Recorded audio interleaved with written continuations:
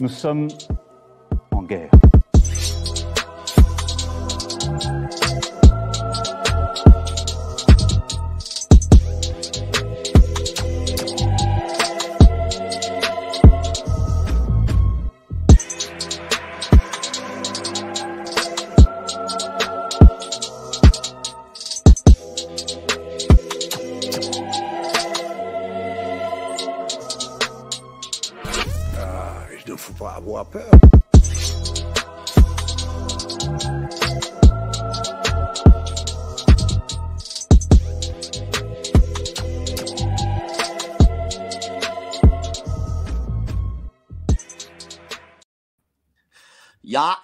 Faut pas avoir peur. Bonsoir à tous, vous êtes sur Géopolitique pour la chaîne qui est là pour remplacer les médias subventionnés.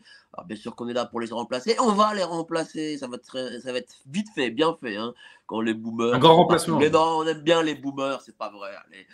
Ce soir, nous avons notre ami Adrien Abosi, que vous connaissez tous, avocat reconnu, connu par la profession et auteur de nombreux livres, dont celui-ci, le dernier, Croisade cognitive pour une résurrection française aux éditions Les Stockades. Enfin, alors, vraiment, il y a des- tous les- toute la symbolique là ici. hein. Ouais. Euh, les Il y a un petit Stockades, les euh, chevaliers, tout. Hein. On dirait qu'il va être une percule, euh, le chevalier, vous voyez. euh. Voilà, voilà, totalement. Le D'ailleurs, pourquoi. Pourquoi ces images là, de, de chevalerie, l'estocade de l'épée? Est-ce qu'il y a le côté honneur euh, qu'il faut mettre en avant? Alors, euh, mon bah, attendez, déjà, je- vous me mettez la pression, euh, mon cher Mike, déjà, parce que comme vous montez en puissance, euh, voilà, moi, j'ai pas l'habitude d'être face à des intervieweurs maintenant qui, qui pèsent autant que vous. Hein, puisque Oh là là, il y a. Non, mais attendez, là, là, il y a, il y a une, il y a une ascension fulgurante quand même. hein. Bref, On se connaît depuis au moins 10 ans, alors. l'un n'empêche pas l'autre. L'un n'empêche pas l'autre. Mais alors, bon, mon cher Mike, oui, effectivement, pourquoi cette couverture? Parce que la croisade est au cœur euh, de mes réflexions. hein. Euh, nous devons repartir en croisade si on veut sauver la France catholique, si on veut sauver les âmes des Français. À l'instar de, ce qu'ont fait les Français, euh, à l'écoute, l'appel du pape Urbain II, qui était un pape français d'ailleurs, qui est le plus grand français de tous les temps d'ailleurs, Urbain II, je pense, et de Pierre l'Ermite. Voilà, donc nous devons repartir en croisade pour sauver la France, la croisade cognitive notamment, qui est la croisade pour la reconquête des cerveaux.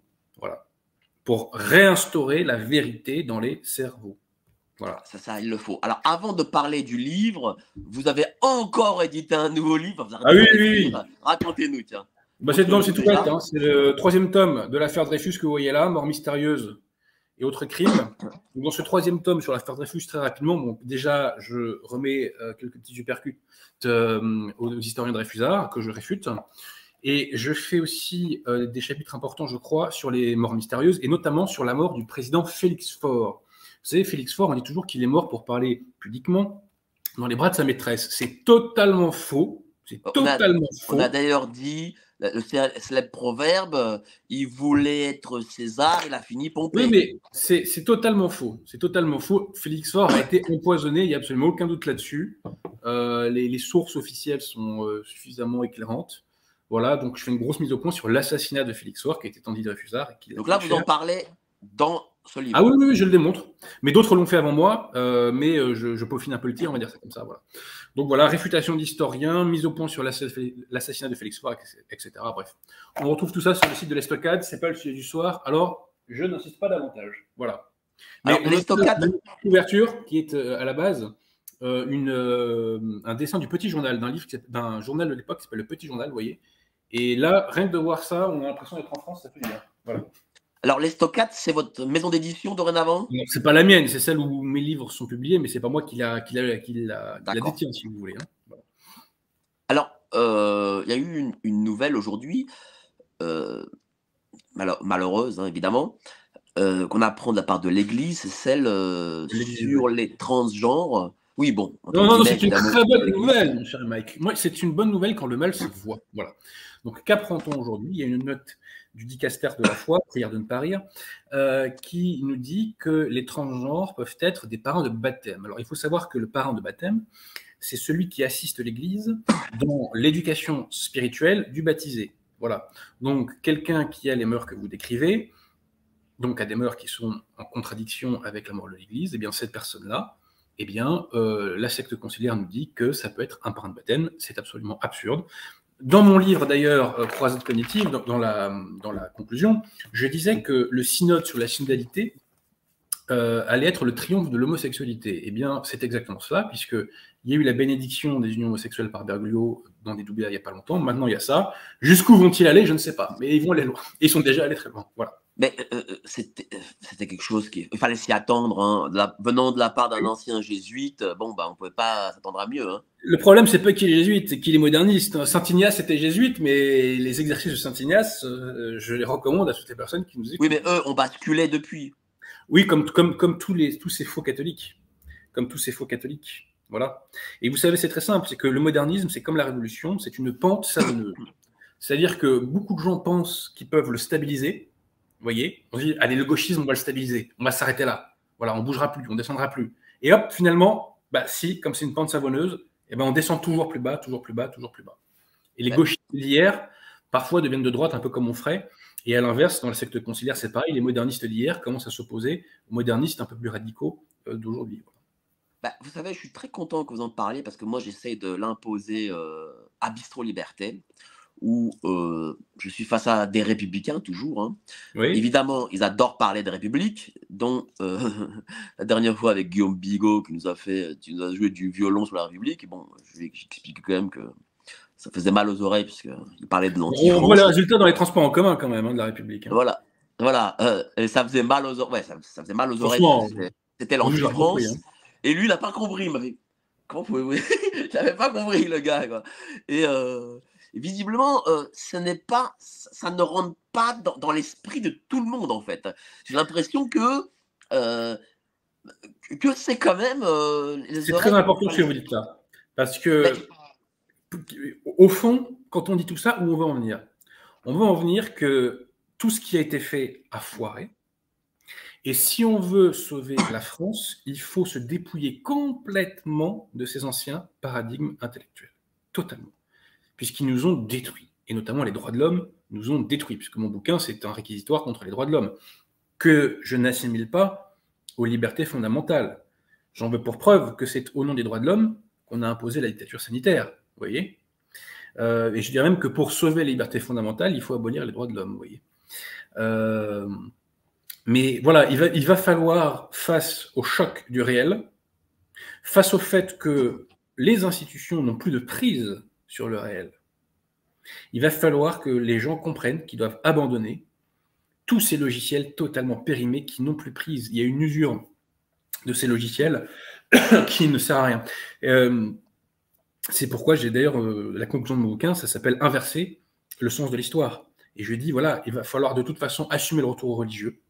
Il va falloir assumer euh, le retour aux vrais principes. Parce que les faux principes ne peuvent plus rien contrôler. Vous savez, c'est- comme les banlieues. Qu'est-ce qu'on n'a pas fait pour que ça ne pète pas en banlieue? Mais on a tout fait, on leur a tout donné. Du pognon, des mairies, des territoires. On laisse faire l'économie parallèle, on fait des concessions symboliques en permanence, on leur, laisse donner des noms de prophètes ou de femmes de prophètes à des rues. Vous voyez? On subvertit l'identité de la France, on a tout fait pour que ça pète pas en banlieue. Dans, le cadre de la matrice droit de l'homiste. Et pourtant, on a vu ce que ça a donné. Donc, ce- ces logiciels-là ne sont plus en phase avec le réel et ils ne nous serviront pas à résoudre les problèmes qui nous. à résoudre les fléaux, que dis-je Les fléaux qui nous détruisent. Alors, ce qui est très intéressant déjà dans votre livre, on va parler On va vraiment parler dans long, en large, en travers. hein. Je vous le dis, je l'ai vraiment bien lu, je Merci. des passages. Ah, D'accord, donc les, post-it, les post-it, c'est pas pour faire semblant alors, c'est vraiment. Non, que- c'est pas pour faire ça. Non, non, pas. Non, non, c'est pas, pas le genre. Hein. D'accord, ok, ok, ok. Euh, Là, le, là, le sous-titre. Euh, moi, ce qui m'intéresse dans le sous-titre, c'est que vous parlez de la résurrection française, alors que on est actuellement, en plus, dans une forme de déclinisme. On a parmi nos amis, des- amis euh, qu'on aime beaucoup, hein, des gens euh, avec qui on a milité, qui justement ne parlent plus de cette résurrection, qui pensent que c'est fini, que c'est terminé, qu'on est de, voilà, que, que le pays est, est- est- est mort. Vous, vous y croyez encore? Je- je- Ce livre montre que vous y croyez encore. Pourquoi Qu'est-ce qui fait que vous y croyez encore? Parce que j'ai Excalibur entre les mains. Et n'importe qui peut avoir Excalibur entre les mains. Quand on connaît la force de la foi, D'ailleurs, c'est dans les Écritures. La foi peut renverser les montagnes. Quand on connaît la force de la foi, quand on connaît la puissance des grâces, on sait que l'histoire peut basculer très rapidement, positivement. Et moi, j'ai cette confiance. Et je sais que l'arme de la victoire, ce n'est pas le nombre. L'arme de la victoire, et je cite longuement l'abbé Jean-Baptiste Aubry, que j'aime énormément, euh, enfin son œuvre, hein, vous voyez, euh, l'arme de la victoire, c'est la vérité. Et pourquoi on a perdu jusqu'à présent? Pourquoi les catholiques perdent depuis 200 ans? Parce qu'ils n'ont pas manié le glaive de la vérité. Si on manie le glaive de la vérité, on peut exploser les ennemis de la France. C'est dire quoi Le combat, c'est l'information? Pas n'importe laquelle. Le combat, c'est la restauration des véritables principes. Ce qui implique de détruire ce que j'appelle dans mon livre l'utopie avec un grand U, c'est-à-dire cette réalité fictive qu'on essaie de nous mettre dans le crâne.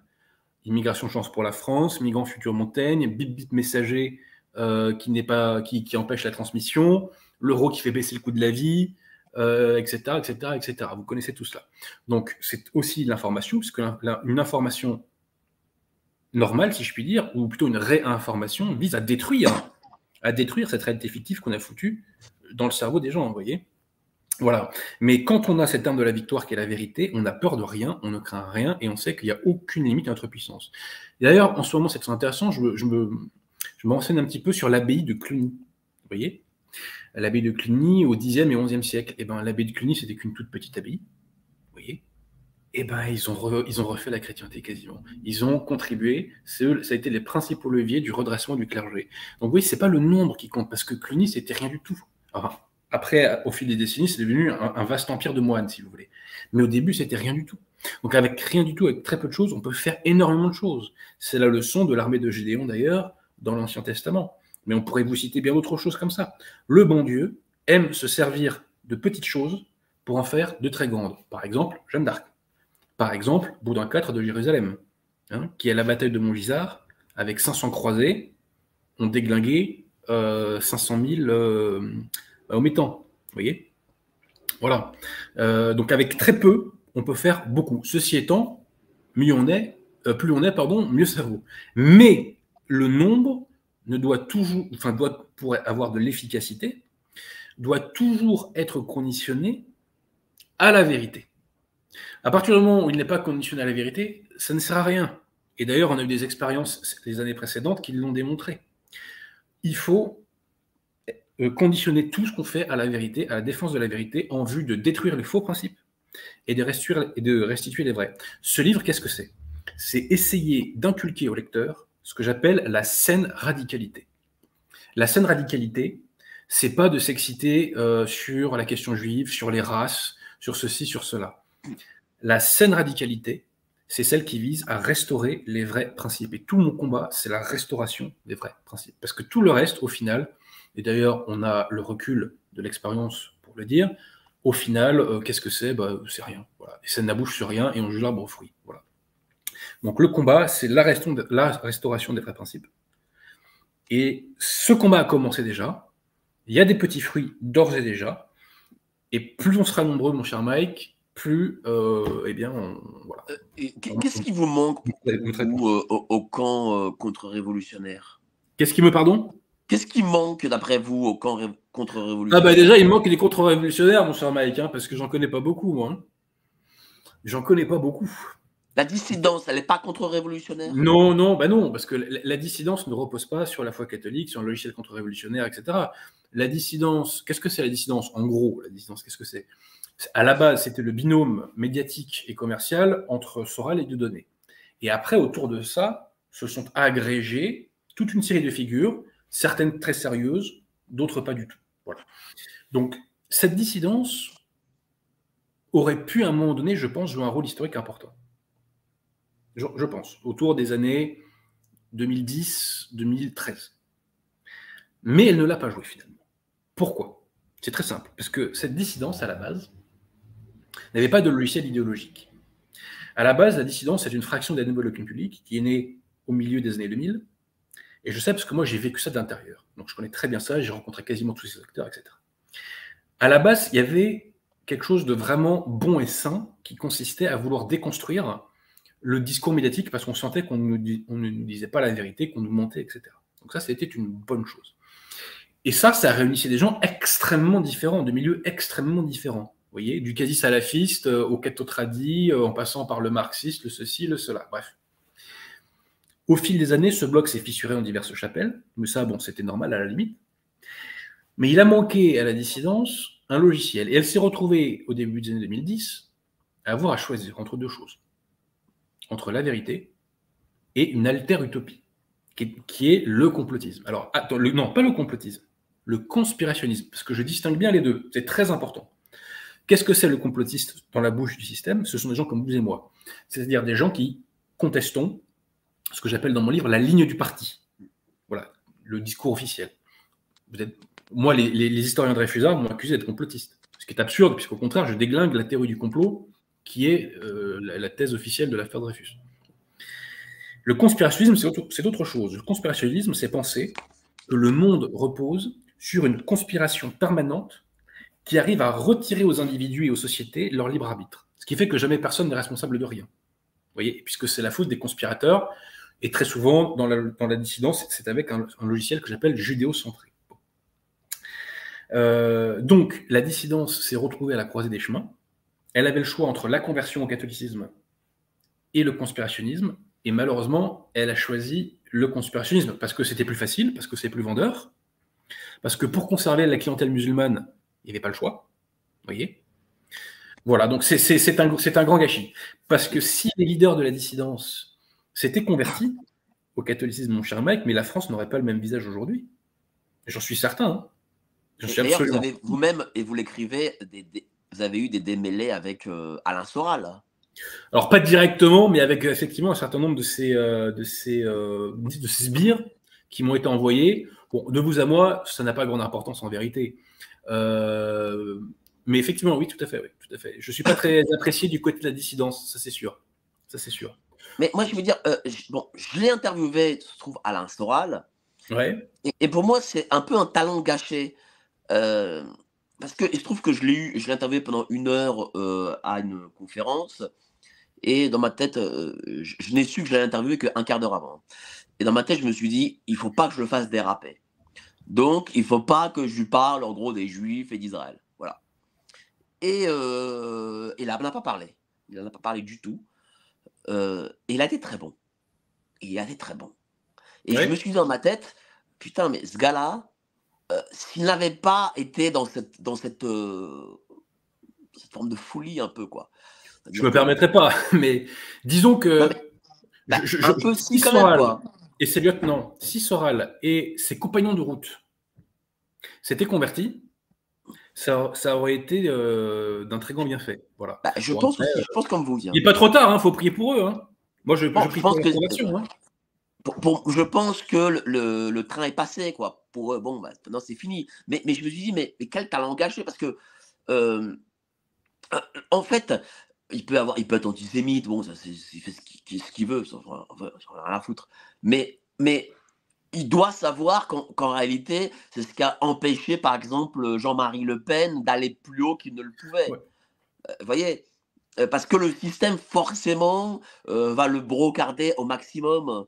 Et, et, c'est un frein, quoi. C'est forcément un frein à une progression. Enfin, je en bah, Oui, mais c'est vrai que quand on adopte ce logiciel, d'ailleurs, l'antisémitisme est condamné par l'Église catholique, hein, je le dis en passant.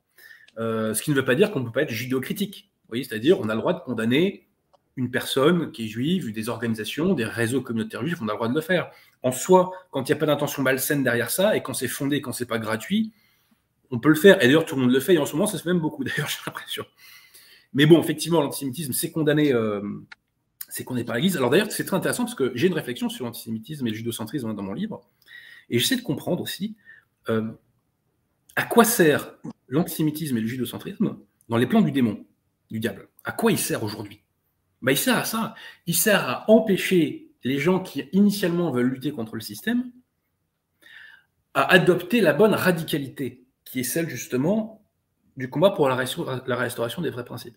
Parce que quand vous discutez avec un judéo-centré, ce qui est euh, assez exaspérant, c'est que sur n'importe quel sujet, vous pouvez lui parler de, football, euh, de tout ce que vous voulez, il va revenir à la question juive. Il va, réussir à vous le caser, quoi. Voyez? Le judo-centré revient toujours systématiquement là-dessus. Et il donne à cette question une disproportion qui est totalement euh, irrationnelle. Vous voyez? Donc, ce judéocentrisme, euh, malheureusement, a, bousillé beaucoup de cerveaux, hein, je suis désolé de le dire. Et moi, j'ai même vu des gens changer de personnalité, limite en l'adaptant. Hein. C'est pas une façon de parler. Hein. C'est-à-dire bah, Devenir mauvais, quoi. Vous voyez Devenir mauvais, méchant, euh, se couper euh, socialement, etc. Donc, dans les plans du démon, cette voie de garage sert en fait à donner une fausse radicalité à des personnes qui auraient pu être tentées par la saine radicalité. Voilà. Et c'est malheureux, c'est malheureux, euh, et euh, c'est malheureux, voilà. Donc effectivement, l'antisémitisme, euh, bon bah déjà, comme je vous dis, c'est qu'on n'est pas l'église, c'est un piège à con, en plus. il, y a aussi le, il y a aussi le combat moi, qui me paraît important, c'est celui de la liberté. Et là, je voudrais, je voudrais interroger l'avocat. Il se trouve que tout à l'heure, j'étais à la conférence de presse où j'étais le seul journaliste J'étais un journaliste de, place d'armes, c'est-à-dire euh, des militaires, des généraux et tout à la retraite. J'étais le seul, hein, je vous jure, c'est vrai, c'est vrai, quand même dans les conférences de presse. C'est-à-dire que même le, mec, je sais pas moi, de France Bleu vient pas. Enfin, vraiment ce métier, c'est. bref, bon, c'est comme ça. Et euh, j'ai appris euh, que la préfecture de Paris a interdit des militaires à la retraite, qui sont généraux, capitaines, colonels, euh, ce que vous voulez, donc officiers, de déposer une gerbe de fleurs à la place du Trocadéro le 11 novembre. Quelle horreur Déjà, il y a ça, un. Deux, j'ai appris qu'il fallait demander l'autorisation de la préfecture. Donc ça, je ne savais pas, je savais pas, mais bon, c'est comme ça, visiblement, pour déposer une gerbe de fleurs. Bref. Qu'est-ce que vous, en tant qu'avocat, euh, penser d'une situation pareille Est-ce que euh, mais moi, la liberté publique dans ce pays, euh, c'est un souvenir? Ça dépend. Si vous, êtes, si vous êtes de gauche et d'extrême gauche, vous n'avez pas de problème avec la liberté publique. Il y a un deux poids, deux mesures. Les nationalistes sont discriminés. J'ai moi-même fait condamner euh, une fois l'université de, Lorraine pour discrimination contre quelqu'un qui était à qui on avait refusé un poste parce qu'on le jugeait proche nationaliste. J'ai fait condamner euh, un autre euh, euh, établissement d'enseignement supérieur pour quelqu'un qui était qu'on accuse d'être complotiste. Alors d'ailleurs anecdote, hein, puisque vous évoquez l'insoral, c'était un prof, il était contractuel et il est le matin à la cafette et il y a un prof de sociologie qui vient le voir. Et il lui dit, alors on va dire, comment on va l'appeler? On va l'appeler Hubert. Hubert, tu regardes des vidéos dans la Et Hubert répond, non. Hubert, tu regardes des vidéos la Soral? Euh, Ben non. Et je vais te faire CH trois petits points, Hubert. Je vais te faire CH trois petits points. Et le mec repart comme ça. Et derrière, le gars s'est pris une inspection euh, totalement délirante où il s'est fait défoncer, alors que le mec, alors que le prof était donné totalement satisfaction à ses élèves et, à l'établissement, vous voyez. Alors là, j'ai pas gagné sur le fond, mais j'ai quand même gagné quelques sous euh, sur la forme. C'est-à-dire que l'administration quand même a dû reconnaître qu'elle avait fait qu'elle est mal Et là, je vais défendre euh, dans, deux semaines euh, un nationaliste à qui on a empêché d'avoir un poste de fonctionnaire, mais là, j'en parle pas trop. Euh, j'attends l'audience et j'attends le jugement. J'attends le jugement avec impatience. Et là, que je gagne ou que je perde pour lui, je vous garantis qu'on va en reparler. Parce que nous sommes victimes de persécution et de discrimination. Enfin, les nationalistes sont, victimes de discrimination. Il y a un deux poids deux mesures pour la liberté publique qui est absolument évident. Absolument évident. Voilà. Donc, oui, il y, a, une restriction de liberté publique, je vous le confirme. Euh, aussi, pourquoi hein, Parce qu'autrefois, il n'y avait pas de réveil. Euh, dans les générations des boomers, il n'y a pas de réveil nationaliste. Donc, il n'y a pas besoin de répression. Oui. Mais ça, c'est un phénomène qu'on constate depuis, euh, depuis la manif pour tous. Parce que déjà, dès la manif pour tous, il y avait commencé à avoir des problèmes. Et puis, c'était allé crescendo avec les gilets jaunes, etc. Et puis, le Covid. Le Covid, c'est la période la plus liberticide de l'histoire de France. Tout simplement. Donc oui, euh, les libertés fondamentales, c'est un combat qu'on pensait euh, acquis, entre guillemets, mais en fait pas du tout. Et il faut se battre pour nos libertés fondamentales. Mais C'est pourquoi j'ai un chapitre qui s'appelle Liberté fondamentale versus droit de l'homme. Ben, justement, c'est pour ça que je vous en parle. Hein. Parce que, quand même, un pays où, pour déposer une gerbe de fleurs, il faut faire une demande à la préfecture. Mais, mais je sais pas. mais c'est quelque chose d'ultra droite, mon cher Mike. C'est l'ultra droite qui fait ça. Allons, allons, allons. Non, mais il y a une haine de la France de la part des institutions qui est absolument évidente. De toute façon, s'il n'y avait pas cette haine de la France, euh, quand on prend les transports en commun, euh, ce que je veux dire hein, on, Bien sûr. on aura notre spectacle. Voilà. Alors, je vais lire un passage là de votre livre. Il m'a fortement intéressé parce que là, ça parle de vous au collège. Ah ouais Arrivé, arrivé au collège, j'ai commencé à avoir une opinion très négative de ce que l'on appelait alors les racailles, c'est-à-dire les personnes inciviques, généralement issues de l'immigration extra-européenne, structurées par la sous-culture wesh dont le rap est le premier vecteur. Ouais. Pourquoi avais-je cette opinion? J'avais tout simplement peu d'empathie pour ceux que je voyais au quotidien persécuter les Blancs. Euh, la, violence, la violence gratuite dont j'étais le témoin ne faisait partie ni de mon monde, ni de ma culture, ni de mon éducation. Mon opinion sur le multiculturalisme se basait exclusivement sur mon expérience personnelle que je me permettais de généraliser, puisque je constatais partout le même phénomène, notamment grâce à ma pratique rugbystique par laquelle je découvrais la douceur de vivre des charmantes communes d'Île-de-France. Ma représentation du monde se fondait sur le réel que j'acceptais sans chercher à fuir telle ou telle conclusion. Alors ma question c'est, comment se fait-il qu'à ce moment-là, vous êtes dit, je vais avoir cette conscience politique plutôt que, comme certains le font parmi les Blancs, une assimilation à l'envers? Ben, Je vais vous dire, euh, quand on poursuit un petit peu dans mon texte, je parle de deux de mes amis. Parce que qu'est-ce qui s'est passé quand je suis arrivé en quatrième? J'ai perdu euh, quasiment tous mes meilleurs amis euh, du collège parce qu'en fait, ils sont partis, parce qu'ils étaient victimes des persécutions des racailles, et donc ils sont partis dans un autre euh, collège. Mais ce qui est très intéressant, c'est que parmi ceux qui sont partis, qui avaient vécu les mêmes expériences, il y en avait un qui était dans mon équipe de rugby, qui faisait le même constat que moi et qui acceptait le réel. Et en fait, c'était même pas de la politisation, on se posait pas de questions. On disait simplement, ceci est un verre et c'est pas un aspirateur. Voilà, c'est tout. Bon. Et il y en avait un autre euh, qui, comptait aussi parmi mes meilleurs amis, et qui lui en plus était celui qui avait été le plus victime des violences racailles. Mais c'était celui qui s'est pris, le plus de coups, de, de, brimades, etc. Et lui, je me rappelle très bien, après une partie de jeux vidéo, euh, j'évoquais le profil socio-culturel racailles, et je me rappelle très bien qu'il avait été choqué devant moi. Et il me dit, mais pourquoi tu dis ça euh, Pourquoi tu es obligé de le préciser, etc. Et dans ma tête, je me dis, mais écoute, tu t'es fait défoncer la gueule pendant deux ans, euh, et tu es encore, euh, encore empathique, as encore de l'empathie avec ces gens-là. Alors, je reviens à votre question. Vous, vous soulevez un point qui est extrêmement important. C'est-à-dire que dans ma génération, parce que moi je viens des classes moyennes, dans ma génération, dans les classes moyennes, il y a des blancs qui ont collaboré. Qui ont collaboré. C'est-à-dire que pour se faire accepter de leur bourreau, ils ont adopté les codes culturels de leur bourreau. Ils se sont mis à écouter du rap, ils se sont mis à, s'habiller comme des racailles, voire à parler avec la langue wesh. Vous voyez? Moi, c'est marrant parce que l'un de mes meilleurs amis, vous voyez, euh, habitait dans une. C'était un blanc, hein il habitait dans une petite cité à côté de chez moi. Vous voyez? On écoutait du métal quand on était jeune, euh, en troisième, en seconde, etc. Mais euh, quand il a eu 15 ans, et eh ben, en fait, il est parti du principe qu'il était un truand. Vous voyez? Euh, il se mettait à mettre des coups de pression aux gens et tout ça, vous voyez. Euh, et un jour, on était dans un car scolaire ensemble et euh, il veut me clasher. Je dis, écoute, alors on va l'appeler Jean-Michel. Je dis, écoute, Jean-Michel, on se connaît, je sais que t'es pas, je sais que t'es pas un truand, arrête quoi, voilà. Ne te prends pas pour une racaille. Voilà. Et je me rappelle même qu'à ce moment-là, il m'a dit, oh, mais je ne me prends pas pour une racaille. Et tous les autres élèves autour, si, si, si, si, tu te pour une racaille, alors que les mecs avaient baissé les yeux, voyez, pendant, euh, pendant six mois. Bref. Mais il y a une partie des blancs qui a collaboré. Ça, c'est clair, c'est net et c'est précis. Et d'ailleurs, quand on voit un rappeur blanc, euh, généralement, c'est quelqu'un qui a vécu ça euh, dans, son adolescence. Hein. C'est, que le mec qui s'est fait bouffer les Necfeu, les Orelsan et tout ça, là, vous voyez, là. moi, je peux pas les voir, Je peux pas les voir. Parce que quand je les vois, je vois marqué voilà, qu'il y a eu un pacte avec l'ennemi, quoi, voyez.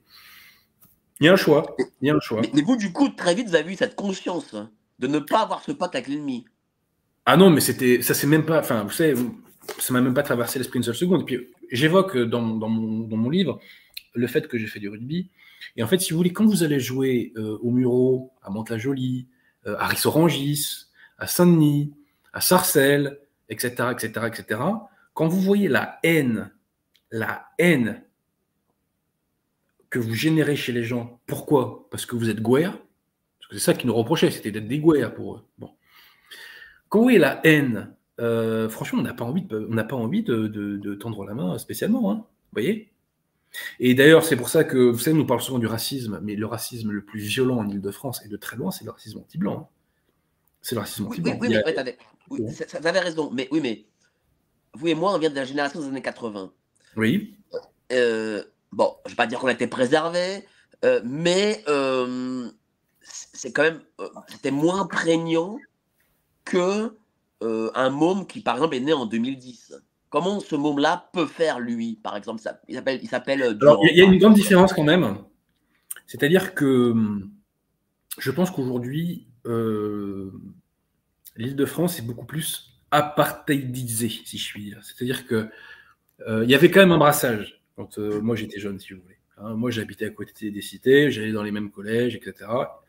Euh, quand j'allais jouer au foot euh, près de chez moi, on croisait les mecs dans les, dans les, dans les stades. Enfin, vous voyez, il y avait quand même un brassage. J'ai l'impression qu'aujourd'hui, Il y a il y a beaucoup moins. C'est-à-dire qu'il y a autant il y a une masse extra-européenne qui est plus importante d'un point de vue numérique, autant euh, le compartimentage, euh, voilà, il y, a- il y a eu, euh, y a eu vraiment des territoires où les blancs sont partis. Voyez Donc, euh, où, où ils sont partis, où on les a dégagés, hein, ça dépend des cas. Enfin, pas tous, parce qu'il y, a le pro- il y, a une- il y a une partie bah, du prolétariat qui, lui, est resté. Ouais, ouais, mais bon, elle est, elle est vraiment infime. hein. Ben, moi, je leur conseille de se barrer. Alors, c'est plus facile à dire qu'à faire, on est bien d'accord. hein. Bah oui. Mais euh, bon, après, on n'a pas réponse à tout euh, à l'instant T, vous voyez ce que je veux dire. hein. Euh, bah, vous savez, ce qu'il faut faire, c'est très simple, hein, c'est refaire une France française pour sauver ces gens-là. hein. C'est tout. Mais c'est sûr qu'ils vivent un calvaire. hein. Pour certains d'entre eux, ils vivent un calvaire. Il y a une persécution du quotidien qui est, euh, qui est assez atroce. hein. Euh, moi, j'ai vu tellement de gens souffrir de la persécution des racailles. Moi, pour être tout à fait franc, moi, à titre personnel, je n'ai pas trop souffert. Vous voyez, euh, comme tout le monde, je me suis pris quelques petits coups, mais ça m'a pas traumatisé, quoi. Vous voyez, j'ai eu beaucoup plus mal sur les terrains de rugby. Croyez-moi que. pour ceux qui ne vous connaissent pas, vous êtes grand et costaud. Bon, et, et les racailles ne s'attaquent pas aux grands et costauds. Alors oui et non, hein. Oui et non, oui et non, parce que moi dans mon équipe de rugby justement, on avait un grand et gros costaud, euh, mais c'était tellement marqué dans ses yeux que c'était une baltringue, si vous voulez, que euh, il se faisait embrouiller euh, très souvent. Et même une fois, je me rappelle, il, s'était embrouillé en boîte de nuit les mecs, et il m'avait, moi j'étais non plus en train de dormir, vous voyez, il m'appelle pour que je vienne les aider pour la bref, vous avez compris quoi. Bon, donc ça fait pas tout. Le physique ne fait pas tout, voilà. Le, le mental et ce qui émane de vous aussi, voilà. Alors, euh, bah, je vais lire encore un autre passage. Euh, le XIIIe siècle, celui de Saint Louis et de Saint Thomas d'Aquin, est le sommet de la civilisation. Si l'on apprécie cette notion par le degré d'organisation d'une société au service du salut des âmes, la France tombe de son zénith civilisationnel dès le règne de Philippe le Bel, qui inflige une blessure profonde à la chrétienté par un hideux papicide. Philippe le Bel n'avait aucun droit de lever la main sur le vicaire du Christ, Boniface VIII. L'effroyable attentat sacrilège d'Agnani, d'Anani, septembre 1303, fatal au souverain pontife, est l'un des crimes les plus graves et les plus odieux commis par la France as de la guerre de Cent Ans et l'extinction de la, lignée euh, directe des Capétiens sont un juste châtiment. Bon, après, vous parlez aussi de M. de Montespan et de sa femme, évidemment.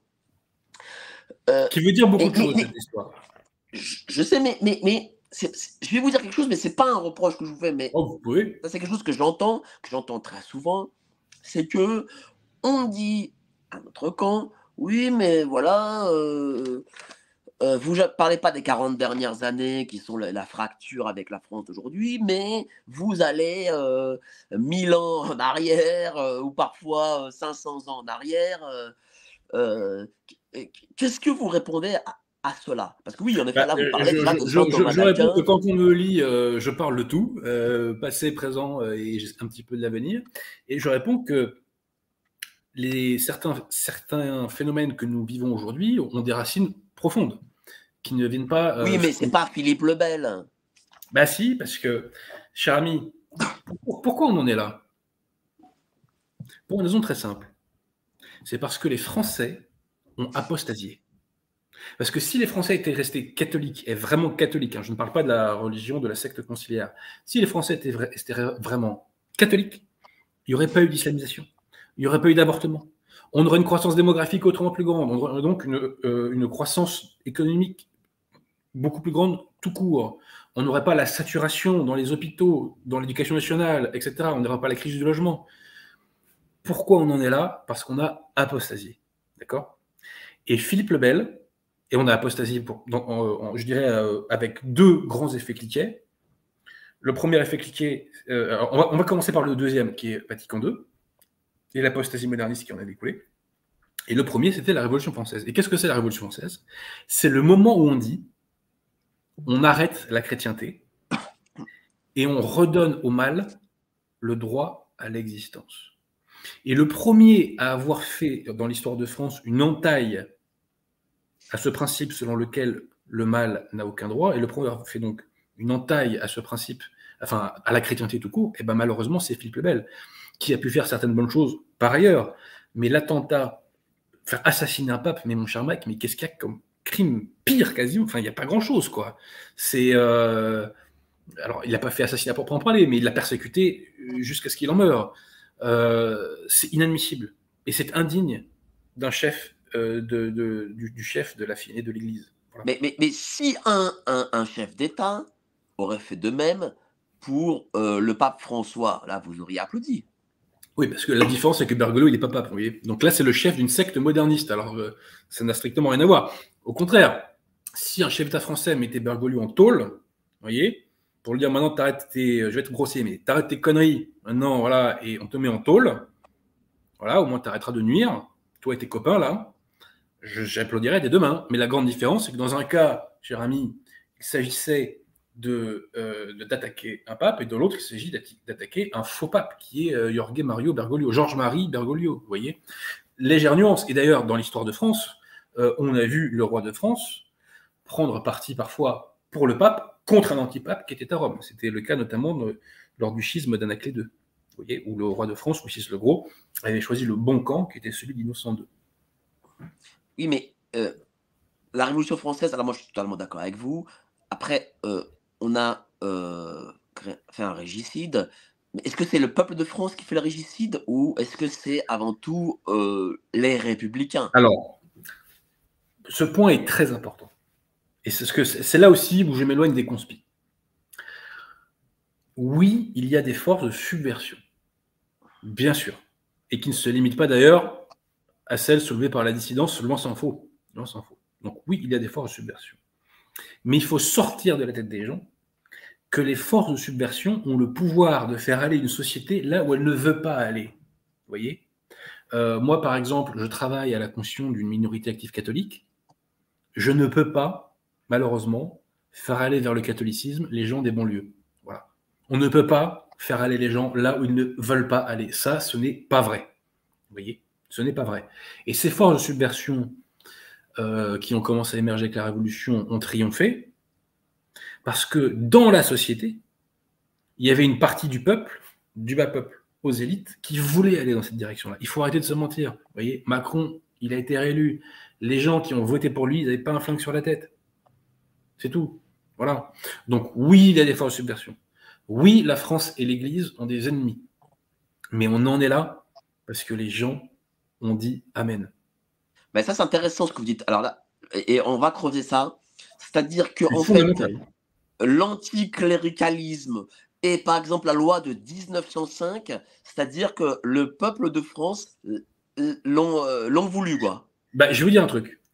Euh, regardez les résultats électoraux sous la Troisième République. La première législature est à droite, très à droite à un point tel qu'il y a même des députés qui demandent à ce que la France soit consacrée au Sacré-Cœur, etc. Bon, ça ne se fait pas forcément, mais ça ne veut pas rien dire. La Troisième République bascule à gauche en 77 à cause de Gambetta, notamment. Et qu'est-ce qui s'est passé après? La droite n'est. Et là, quand je disais droite à l'époque, c'était pas Valérie Pécresse. Hein. C'était quand même des contre-révolutionnaires, des gens sérieux. Bon. Eh bien, la droite, mon cher Mike, n'est jamais redevenue majoritaire. Et elle s'est pris même des raclés à quasiment toutes les, toutes les élections législatives. Oui, mais elle s'est pris des raclés parce que au moment où il fallait prendre le train, on va dire, elle ne l'a pas fait, elle a loupé le wagon. Alors, d'une part, vous avez raison, oui, tout à fait. Mais euh, même par la suite, quand on aurait pu se redresser, se reconsolider, etc., eh ben, force est de constater que les Français, eh ben, ils n'ont pas voulu aller dans ce sens-là. Et la loi de 1905, c'est l'aboutissement d'un long processus selon lequel les Français eh ne voulaient pas aller dans le sens de la catholicisation de la société. Alors il y a eu des résistances, les catholiques l'ont condamné, ils ont subi la situation aussi malheureusement, euh, parce qu'ils ne pouvaient pas faire autrement à la fin. Mais voilà, dire que le peuple français ne voulait pas aller dans cette direction, c'est un mensonge. Si demain, si dans 30 ans, si dans 30 ans, quelqu'un me dit euh, Ah, quand même, cette éducation sanitaire, ça devait pas être marrant. Hein. On voulait imposer, euh, alors que quand même, hein, la majorité du peuple était contre, hein, vraiment, c'est vraiment, des, vraiment des salauds, les gens du gouvernement. Bah, moi, je dirais Écoute, moi, j'étais dans la rue, et il n'y avait pas la majorité du peuple français avec nous. C'est pas vrai. On était même parfois très peu nombreux. Très peu nombreux. Et franchement, je, salue encore hein, les gens qui se sont insurgés contre la dictature sanitaire. Ça a été un test, hein, la dictature sanitaire. On a vu qu'il y avait des vertèbres et qu'il n'en avait pas. Hein. Euh, voire parfois qu'il y avait un cerveau et qu'il n'en avait pas. Enfin bref. Euh, mais voilà, euh, la vérité, c'est que la société va dans le sens dans lequel les gens veulent aller. Point. C'est tout. Voilà. Et c'est pourquoi mon livre est orienté sur la question de la reconquête des cerveaux. Pourquoi on en est là? Parce que les cerveaux, au fil des décennies, sont passés à gauche. Et quand tous les cerveaux d'une société sont à gauche, il ne faut pas s'attendre à ce qu'il en sorte des mesures de droite et des mesures catholiques. Si on veut des mesures de droite et des mesures catholiques, eh ben, euh, il faut une reconquête des cerveaux. Mon cher Mike, si, euh, par exemple, nous, on était au pouvoir on ne ferait pas passer euh, des lois pour la collectivisation euh, des moyens de production, euh, pour une propagande LGBT maximum, etc. Parce que c'est pas notre logiciel, tout simplement. Mais qu'est-ce qui, a détourné les Français du Christ? C'est cette guerre cognitive déjà dès la Révolution. plusieurs choses. Il y a plusieurs choses. Alors d'une part, il y a la, guerre cognitive qui a été faite par les forces de subversion de la libre pensée, oui. Mais pourquoi ça a fonctionné? Quel a été le grand allié de ces forces de subversion? Monseigneur Gaume, qui est le grand théologien du XIXe siècle, selon moi, nous le dit. Monseigneur Gaume nous dit que le sens de la vie a changé au XIXe. C'est-à-dire qu'avant, la vie pour un Français et un catholique, c'était faire pénitence pour faire son salut. Et au XIXe, c'est devenu autre chose. C'est devenu l'accumulation maximum de jouissance. Et Monseigneur Gaume a une très bonne formule, il nous dit que le libre penseur, c'est celui qui veut être un libre faiseur. Et moi, je vous dis, hein, les quelques personnes que je connais qui ont apostasié, mon cher Mike, eh ben c'est marrant, mais à chaque fois derrière, il y avait une histoire de bonne femme, oui. C'est drôle, hein? Donc moi, quand, je vois un mec apostasier, je dis, attendez, laissez-moi deviner, là, il y, a une, bonne femme derrière. On est un libre penseur quand on veut être un libre faiseur. Voilà, c'est tout. C'est-à-dire que, ce que veut dire quoi? C'est-à-dire que, par exemple, pour des questions de musulman, on va dire, et il devient musulman, euh, des choses comme ça? Non, non, quand je parle d'un catholique, hein, euh, une personne cesse d'être catholique, parce que le catholicisme, c'est un code moral strict. Euh, et il y a des gens qui ne le supportent pas. Et quel été le grand allié de la Révolution? Ça a été la quête de plaisir et la quête de sens. voyez? Et pour aller, parce que la foi catholique nous interdit certains plaisirs. Donc, pour s'affranchir de ça, il y a des gens qui ont apostasié au fil des signes, au fil des siècles en France, malheureusement. Et les forces de ont soufflé sur les braises. Oui, parce qu'en amont, en amont euh, de la Révolution, nous avons euh, les philosophes des Lumières qui étaient à la cour du roi, en tout cas Louis XV, et, dont la monarchie, enfin je veux dire la, grande noblesse, était quand même... Euh, parce que parce qu'il faut se dire les choses, la noblesse, on va dire en gros la droite, a toujours été fascinée par ce qu'on pense être de gauche. Oui. Peut-être du fait d'une forme de complexe intellectuel, peut-être, C'est normal parce que la gauche, c'est le pouvoir. Et comme ces gens fantasment sur le maintien de leur rang et donc sur la proximité avec le pouvoir, ils veulent se rapprocher de ça. voyez Moi, ça m'insupporte. Hein. Les gens de droite qui veulent être validés par la gauche, je ne supporte pas. Oui, mais il n'y a, que ça, il n'y a que ça. Malheureusement. bah oui, Marine Le Pen a, illustré ça euh, à la perfection. Mais vous voyez, vous évoquez la cour de Louis XV. Bah, c'est intéressant parce que la cour de Louis XV a été un vecteur de, cette, de ce qui était à l'époque euh, cette contre-société, cette contre-culture qui était la République des lettres. Vous voyez Il n'y a pas eu de réplique parce que les cerveaux étaient conquis. Vous voyez Malheureusement. Malheureusement. Voyez Et vous savez, c'est cette phrase de Monseigneur Gaume que j'aime beaucoup, si, vous me permettez de la retrouver. Allez-y. Où est-ce que je l'ai mise, celle-là? Euh, Où est-ce que je l'ai mise, mon cher Mike? Veuillez m'excuser. Euh, là. Euh, voilà. Donc, Monsieur Gaume nous dit les révolutions ne passent dans les faits qu'après être accomplies dans les idées, donc, dans les cerveaux. Louis XVI était détrôné avant d'être roi, parce que les cerveaux étaient déjà passés de l'autre côté. Donc tôt ou tard, ça devait basculer. Est-ce qu'aujourd'hui, en 2023, dans les cerveaux, on est à hum, une ère pré-révolutionnaire? Alors j'espère qu'on est dans une ère pré-contre-révolutionnaire surtout. Ou Mais Pré-contre-révolutionnaire. oui, mais je vais vous répondre, je vais répondre les deux. Les deux. Pourquoi? D'un côté, une minorité active catholique, très lentement mais sûrement, est en train de s'est d'ores et déjà constituée. C'est ce que j'appelle l'avant-garde catholique de la nouvelle opinion publique. Euh, elle ne compte pas des centaines de milliers de personnes, mais elle en compte quelques milliers. Elle a le mérite d'exister, et ça, c'est l'avenir de la France. Donc ça, c'est le potentiel contre-révolutionnaire dans la société. Mais il y a aussi un potentiel révolutionnaire, mon cher Mike. Pourquoi? Parce qu'il y a ce fameux grand remplacement, et quand les boomers mourront, eh ben, on sera, ça sera du 50-50 en gros démographiquement, vous voyez ce que je veux dire Euh, Et là, bah, là, on sera une société, dans une fatalement, on va connaître euh, une révolution, fatalement, parce que ça ne peut pas ne pas avoir de conséquences, c'est pas possible. C'est pas possible. Est-ce que, alors, je vais être provocateur, est-ce que justement, ce ne sera pas une révolution quand ce sera du 50-50, mais une soumission? C'est tout l'enjeu. vous, vous, vous, quel est votre sentiment? Moi, j'ai confiance en la force de la foi. J'ai confiance au fait que l'Église va être euh, remise en ordre, que Vatican II va être détruit, et que de cela, il, résulte- il- il résultera des forces et des grâces qui nous permettront de redresser la barre. Et au passage, de faire un peu de remigration. Remigration des personnes non assimilées. Voilà. Ça ne veut pas dire que 100% euh, seront rémigrés, c'est-à-dire que les non assimilés euh, le seront. Parce qu'on n'en peut plus. Et d'ailleurs, ça, pour le coup, même les gens de gauche aujourd'hui n'en peuvent plus hein, de l'immigration de masse. hein, vous voyez. Euh, oui, mais, donc, oui, mais alors ah, ça, alors ça, euh, ça c'est un truc sur lequel je suis pas totalement d'accord. J'en Ouais, avais ouais. même parlé avec Pierre Gentillet à l'époque, euh, qui lui aussi était sur votre, sur votre position. C'est que ils, nous disent toujours ah oui mais les sondages, regardez 70% disent on veut pas d'immigration machin. Oui, mais au, euh, dire dans un sondage ah j'en veux pas très bien, mais Dezio bon enfin euh, ils votent pas, il n'y a pas 70% qui votent pour un parti qui est contre Mais euh, il y a un parti, mon cher Mike, euh, qui, qui Non, propose. mais imaginons, imaginons que dans l'esprit de, de- de la- de- du grand public qui ne, qui, ne- qui ne connaît pas spécialement la politique, on va dire que c'est le RN ou Reconquête, voilà, on va dire que c'est cela, eh ben, il n'y a pas 70% qui votent pour ces gens. Un. Et euh, deuxième chose, euh, en réalité, moi, je remarque que les Français ne sont pas contre l'immigration et les Français ne sont pas racistes. Ça, c'est un truc que ils j'ai sont pas remarqué. Ils sont pas racistes.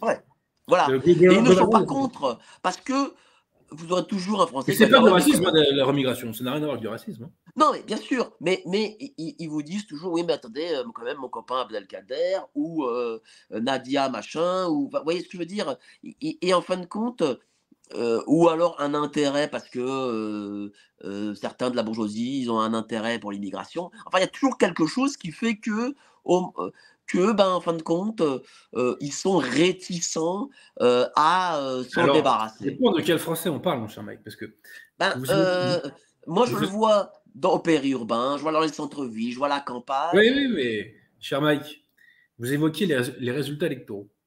Mais qui vote en France principalement? Quelle est la principale force euh, électorale en France? Ce sont les vieux. Vous voyez? Les boomers. Moi, je vote pas. C'est pas par plaisir que je vote pas. C'est parce qu'il y a personne qui représente mes idées. Parce que l'offre électorale ne, ne va pas vers la radicalité vers laquelle j'aimerais aller. Voilà. Mais ça, ça va pas durer comme ça 30 ans. Vous voyez? Et Reconquête, ça va, ça, c'est pas, c'est pas euh, re- re- Reconquête, Reconquête euh, servira euh, un jour à quelque chose si, et c'est un gros si, si il se décide à combattre pour les véritables principes. Vous savez, il y a, il y a un interview de Zemmour au début de sa campagne qui était très intéressant, où Bourdin lui dit Est-ce que vous allez revenir sur euh, la loi Veil, la loi Guesso, et le troisième c'était le mariage pour tous? Et dit non. à ces trois questions, il dit non, je, je, je- je reviens, sur, je reviens sur rien. Bon, bah euh, voilà, donc moi dans, mon émission, j'ai dit bon, bah Zemmour est sympathique, il a défendu Pétain, j'en suis heureux. Mais si le deal, c'est que euh, tu ne reviens sur rien de ce qui nous détruit, euh, on va pas aller très loin. Donc il a été de bonne volonté. Il a eu le mérite de parler de remigration quand même à la fin de la campagne. Alors que au début de la campagne, il dit ah mais non, non, je suis contre. C'est, je suis pas prêt pour la politique. Bah oui, je suis pas encore prêt pour ce métier. je suis pas encore prêt pour ça. Euh, mais voilà, donc Reconquête, si demain Reconquête euh, a une conversion façon Saint-Paul tant mieux. Euh, bon, pour l'instant, je. Moi, pas personnellement, euh, quelqu'un qui. euh, quand le patron de Reconquête, c'est-à-dire M. Zemmour, insulte le Christ comme il le fait, je ne peux pas voter pour lui. hein, ça, Non, mais, mais d'accord. Mais Zemmour, Je je ne pourrais jamais voter pour lui. arrête. Zemmour, il faut qu'il arrête la politique. Il faut qu'il arrête la politique. C'est-à-dire que le, peu, le bien qu'il pouvait faire autrefois, il ne le fait plus. Et là, si vous voulez, bon, euh, on n'a pas besoin de reconquête pour savoir qu'il y a trop d'immigration en France. Vous voyez, donc faire 300 000 vues sur YouTube pour dire que euh, il euh, y a- trop d'immigration, est-ce que dire, c'est- de l'acquis ça, vous voyez. Donc moi, je, recommande à Zemmour euh, d'arrêter la politique, vous voyez, et puis, voilà quoi, et de passer, de passer la main à d'autres. Alors, on va revenir à votre livre. Qu'est-ce que signifie pour vous ce terme-là que, Parce que c'est votre terme, du coup, guerre cognitive. Alors, c'est pas moi qui l'ai inventé, hein, ce terme cognitif. Ah bon Bah, Ah, je pensais que c'était vous. non, non, non, non, non, c'est pas moi. Non, moi, j'ai inventé le- la formule de croisade cognitive. Bah, écoutez, je vais vous faire une petite citation. Allez-y, Euh, allez-y. Euh, alors, c'est une citation de, de- extrait du site de l'OTAN et une citation extrait de la, de la revue d'histoire militaire. La guerre cognitive, j'anticipe, c'est la guerre pour la prise de possession de votre cerveau. Vous voyez? Donc, citation, hein, dans la guerre cognitive, l'esprit humain est le champ de bataille. Le but est d'agir non seulement sur la pensée des personnes, mais également sur leurs actes.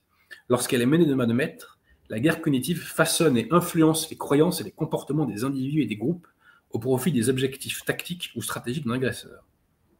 L'effet final recherché est bien de modifier ou d'altérer le schéma de raisonnement et de réflexion d'un ou plusieurs individus sur un thème que l'on espère, sur un terme pardon, que l'on espère le plus long possible afin d'imposer sa volonté à un ennemi identifié. L'objectif de cette forme de conflictualité, le cerveau des individus. Le but est d'attaquer le cerveau de l'ennemi, de modifier ses perceptions, ses croyances, ses modes de pensée.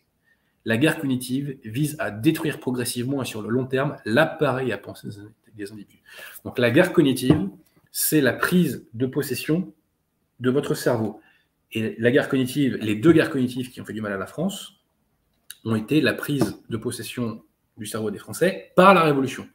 La croisade cognitive, c'est la prise de possession du cerveau des Français par la vérité. Voilà, donc nous, nous sommes la contre-subversion. Nous menons cette croisade cognitive qui vise à restaurer la vérité dans la tête des Français.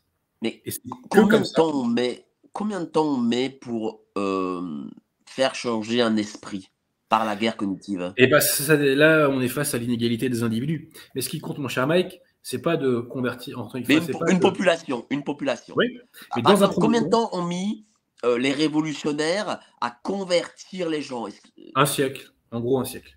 Mais ils avaient pris le pouvoir avant, pourquoi? Parce qu'ils avaient une minorité active. Et nous, ce qu'il faut, c'est qu'on reconstitue une minorité active. Et après, je vais être un peu euh, lapidaire, mais les gens mangent ce qu'on leur donne à manger. hein. Vous voyez ce que je veux dire? Il y a beaucoup de gens euh, qui ne se posent pas plus de questions que ça. hein. Vous savez, euh, voilà, c'est malheureux, mais c'est comme ça. Donc, Alors, dans un premier temps, il nous faut refaire une minorité active, et ça, le mouvement est en cours, et ça peut être, euh, ça peut aller vite. hein. Si on a les grâces du bon Dieu, et quand on aura détruit Vatican II, ça ira, je pense, assez vite. hein. Je suis assez Alors, je, vais, je vais lire un passage sur le, le- le téléspectateur. Ouais. Le téléspectateur, ce mot est quasi synonyme de boomer. Est un croyant qui écoute un prêche, un sermon, une encyclique. Il y a un rapport théologique entre le téléspectateur et la télévision, en ce sens qu'elle engendre une approche et une vision globale du monde. Prenons comme déclinaison de la religion droit de l'homiste le covidisme. Lorsque le téléspectateur accepte le principe du pass sanitaire, il exprime son adhésion au magistère télévisuel. Lorsqu'il brandit fièrement son QR code pour se faire contrôler, il accomplit un commandement télévisuel. Lorsqu'il se le rue sur l'ARN messager, il participe à un sacrement de la religion télévisuelle. Lorsqu'il décrète qu'il n'y a aucun effet secondaire euh, de ce qu'on sait, hein, il défend un dogme de la religion télévisuelle. Et lorsqu'il diabolise le courageux Didier Raoult, il reprend à son compte l'anathème lancé par le pouvoir. Euh, ça, ça veut dire qu'en fait, il y a une, une génération qui est plus influençable aujourd'hui. Est-ce qu'aujourd'hui, la nouvelle génération est autant euh, influençable et influencée que peuvent être celles du baby-boom Elle l'est différemment. Les boomers, déjà, sont très souvent une génération athée. Mais en fait, ce sont des religieux qui s'ignorent. Pourquoi? Il y a un phénomène qui a été identifié déjà depuis très longtemps qui s'appelle la suspension consentie de l'incrédulité. Qu'est-ce que c'est la suspension consentie de l'incrédulité? C'est que lorsque vous regardez une fiction, votre esprit accepte la cohérence interne de cette fiction sans se dire que c'est contraire à la raison. Par exemple, quand je regarde Le Seigneur des Anneaux, je ne me dis pas, mais ça tient pas la route ce truc, parce que euh, les elfes et les orques, ça n'existe pas. Non, quand je regarde Le Seigneur des Anneaux, j'admets l'existence de cette fiction. Donc ça, c'est ce qu'on appelle la suspension consentie de l'incrédulité. Cette suspension consentie de l'incrédulité, avec l'arrivée de la télévision, elle a étendu son champ de la fiction à celui de la communication au sens large. Vous voyez? Je regarde le Tour de France, alors que je sais très bien qu'un bon paquet des coureurs, malheureusement, sont dopés. Je regarde le catch, alors que je sais très bien que c'est du chiquet. Je regarde ce débat politique, alors que je sais très bien qu'en réalité, les deux, ils sont copains et qu'ils sont d'accord sur 80% de, ce qu'ils pensent. Et ensuite, il y a une phase ultérieure de l'influence des écrans, c'est quand l'individu, euh, c'est quand, donc c'est quand, a, quand l'écran devient ce que j'appelle la religion écran. Quand la religion écran devient-elle la religion, euh, l'écran pardon devient-il une religion écran? C'est très simple. Saint Thomas d'Aquin vous dit que la vérité, c'est l'adéquation de votre intelligence avec le réel. L'écran devient religion quand la fraction du réel qu'est l'écran devient l'entièreté du réel pour l'individu. Et là, il n'y a plus que ça qui existe pour lui. Donc ça, ça vaut pour les téléspectateurs de Boomer, mais ça vaut pour le conspi euh, avec ses vidéos YouTube, si vous voulez. C'est-à-dire que moi, il y a des sujets que je bosse depuis 10 ans où j'ai lu des centaines de livres dessus, mais le conspi qui a regardé 5 vidéos sur YouTube vient me faire la leçon. Vous voyez Parce qu'il est en mode religion. Donc l'écran, chez les gens, pardon, qu'il s'agisse de boomer devant son écran de télé ou qu'il s'agisse d'un jeune internaute, l'écran peut devenir vecteur de religion. C'est-à-dire que l'écran, c'est Dieu, toute la vision globale est là-dedans, rien n'en sort. C'est-à-dire que, euh, c'est-à-dire que comme euh, la laïcité a supprimé en gros euh, la religion, et donc comme l'être humain doit croire, donc il croit l'écran. Tout à fait. Qui est, son Dieu? Tout à fait. C'est pourquoi la, deuxième guerre cognitive, c'est celle, que, celle qui a été menée par le binôme infernal télévision Vatican II. voyez?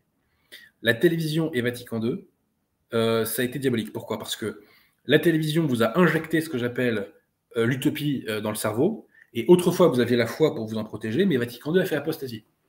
Donc derrière, tous ces gens-là ont adopté la religion droit de l'homiste qui était véhiculée par les écrans. Vous voyez? C'est aussi simple que ça. Mais justement, parlons des droits de l'homme, parce que euh, euh, beaucoup ne comprennent pas euh, pourquoi on brocarde les droits de l'homme. Parce que du coup, se disent, ah, mais attendez, les droits de l'homme, c'est quand même bien. voilà. pourquoi exactement est-ce que, il faut se le dire, hein, c'est la religion du mal? Alors, déjà, il faut s'entendre sur ce que sont les droits de l'homme. voyez Et là, nos institutions mentent sur la marchandise. La Déclaration des droits de l'homme et du citoyen nous dit que les droits de l'homme, ce sont les droits qui sont inhérents à chacun, euh, si on ne veut pas tomber, je dirais, dans un système totalitaire, et que c'est la méconnaissance de ces droits qui conduit au malheur public. Or, en réalité, c'est l'inverse. Qu'est-ce que c'est en fait les droits de l'homme? Ce sont toutes les normes, et ça je le démontre, ce sont toutes les normes qui visent à créer un espace social qui est déraciné et sécularisé. C'est ça la matrice des droits de l'homme. Les droits de l'homme n'ont rien à voir avec les libertés fondamentales. Et encore une fois, je le répète, j'en veux pour preuve que c'est tout les droits de l'homme qu'on a fait la dictature covidique. Vous voyez? Puisque toutes les mesures sont passées devant le Conseil d'État, devant le Conseil constitutionnel, même devant les juges du fond. Et ces juges apprécient les cas en fonction des libertés fondamentales. Et eh ben, ils ont jugé que tout ça, c'était compatible avec. Voilà. Mais est-ce que les droits de l'homme, c'est aussi, en gros, euh, supprimer Dieu, en fait? Bah, évidemment, non, mais c'est ça, c'est la finalité. C'est la finalité. Euh, je vous dis, on crée un espace sécularisé, c'est-à-dire dans, lequel il n'y a plus aucune référence aux religieux. Et quand on dit religieux, c'est la religion catholique, parce que les autres religions ne posent pas tant de problèmes que ça à la République. Hein. Si ça avait été le cas, la République n'aurait pas euh, boosté l'islam un maximum, voyez, par des, par des subventions, par l'immigration massive, euh, etc. Hein. Quoique la République essaye quand même, sur les tenues vestimentaires, de mettre le le côté laïque. Euh. Oui, oui, non, mais ça, si vous voulez, c'est pour satisfaire une fraction de l'électorat. Mais euh, si on ne veut pas qu'il y ait d'abaya, il ne faut pas, faire venir des, millions et des millions de musulmans à la base. C'est surtout ça le, vrai. Cette histoire d'abaya, c'est d'hypocrisie pure. Moi, je suis contre la loi. Euh, moi, je suis contre la loi qui interdit euh, le port du voile à l'école. Je suis contre la loi qui, qui interdit le port de l'abaya. Parce que c'est de l'hypocrisie. Ces gens-là font venir des masses extra-européennes et musulmanes et ils s'étonnent que ces populations conservent leurs mœurs. Ça n'a aucun sens. C'est l'hypocrisie pure. Ça veut dire quoi? Ça veut dire cacher cette immigration que je ne saurais voir? Ça n'a pas de sens. Il y, a une chose, euh, je ne vais pas dire que j'ai un désaccord, mais où je remarque que la République joue un jeu un peu hypocrite, c'est avec le progressisme. Euh, je vois que euh, la République essaye d'imposer, peut-être partie de petite touche, mais en tout cas elle essaie de le faire, le progressisme moral à ces populations musulmanes qui, elles, sont euh, globalement conservatrices. Ça marche pas trop. Hein. Hmm Bien sûr qu'elle essaye, mais ça marche pas trop. Ça marche pas. Parce que ça peut euh, marcher. Elle, elle, elle, met en avant quand même des figures, par exemple. Oui, Najat Kassem. Pas, pas que, mais par exemple, le jeune chanteur là, qui est à l'Eurovision. Oui, je suis d'accord, mon cher Mike. Il y a une tentative. Non, mais c'est clair qu'il y a une tentative de ça, c'est évident. Sauf que dans la pratique, ça se passe pas comme ça. Ça se passe pas comme ça. Hein. C'est euh, et, justement, la République panique aujourd'hui parce qu'elle sait qu'elle a perdu pied. Elle a perdu pied et elle ne peut plus museler le réel. Les banlieues ne sont pas tenues par ça. Les populations des banlieues ne sont pas droit-de-l'homiste euh, globalement. Euh, ou alors ça m'a vraiment échappé. Hein. Mais euh, aux dernières nouvelles, c'est pas le cas, vous voyez. et c'est, mais les populations des banlieues vivent quand même par exemple, les dealers, dans une forme de capitalisme débridé. C'est aussi la République. Oui, oui, tout à fait. Mais les, ces mêmes dealers, euh, si vous leur vendez la propagande LGBT, je ne suis pas sûr qu'ils vont valider.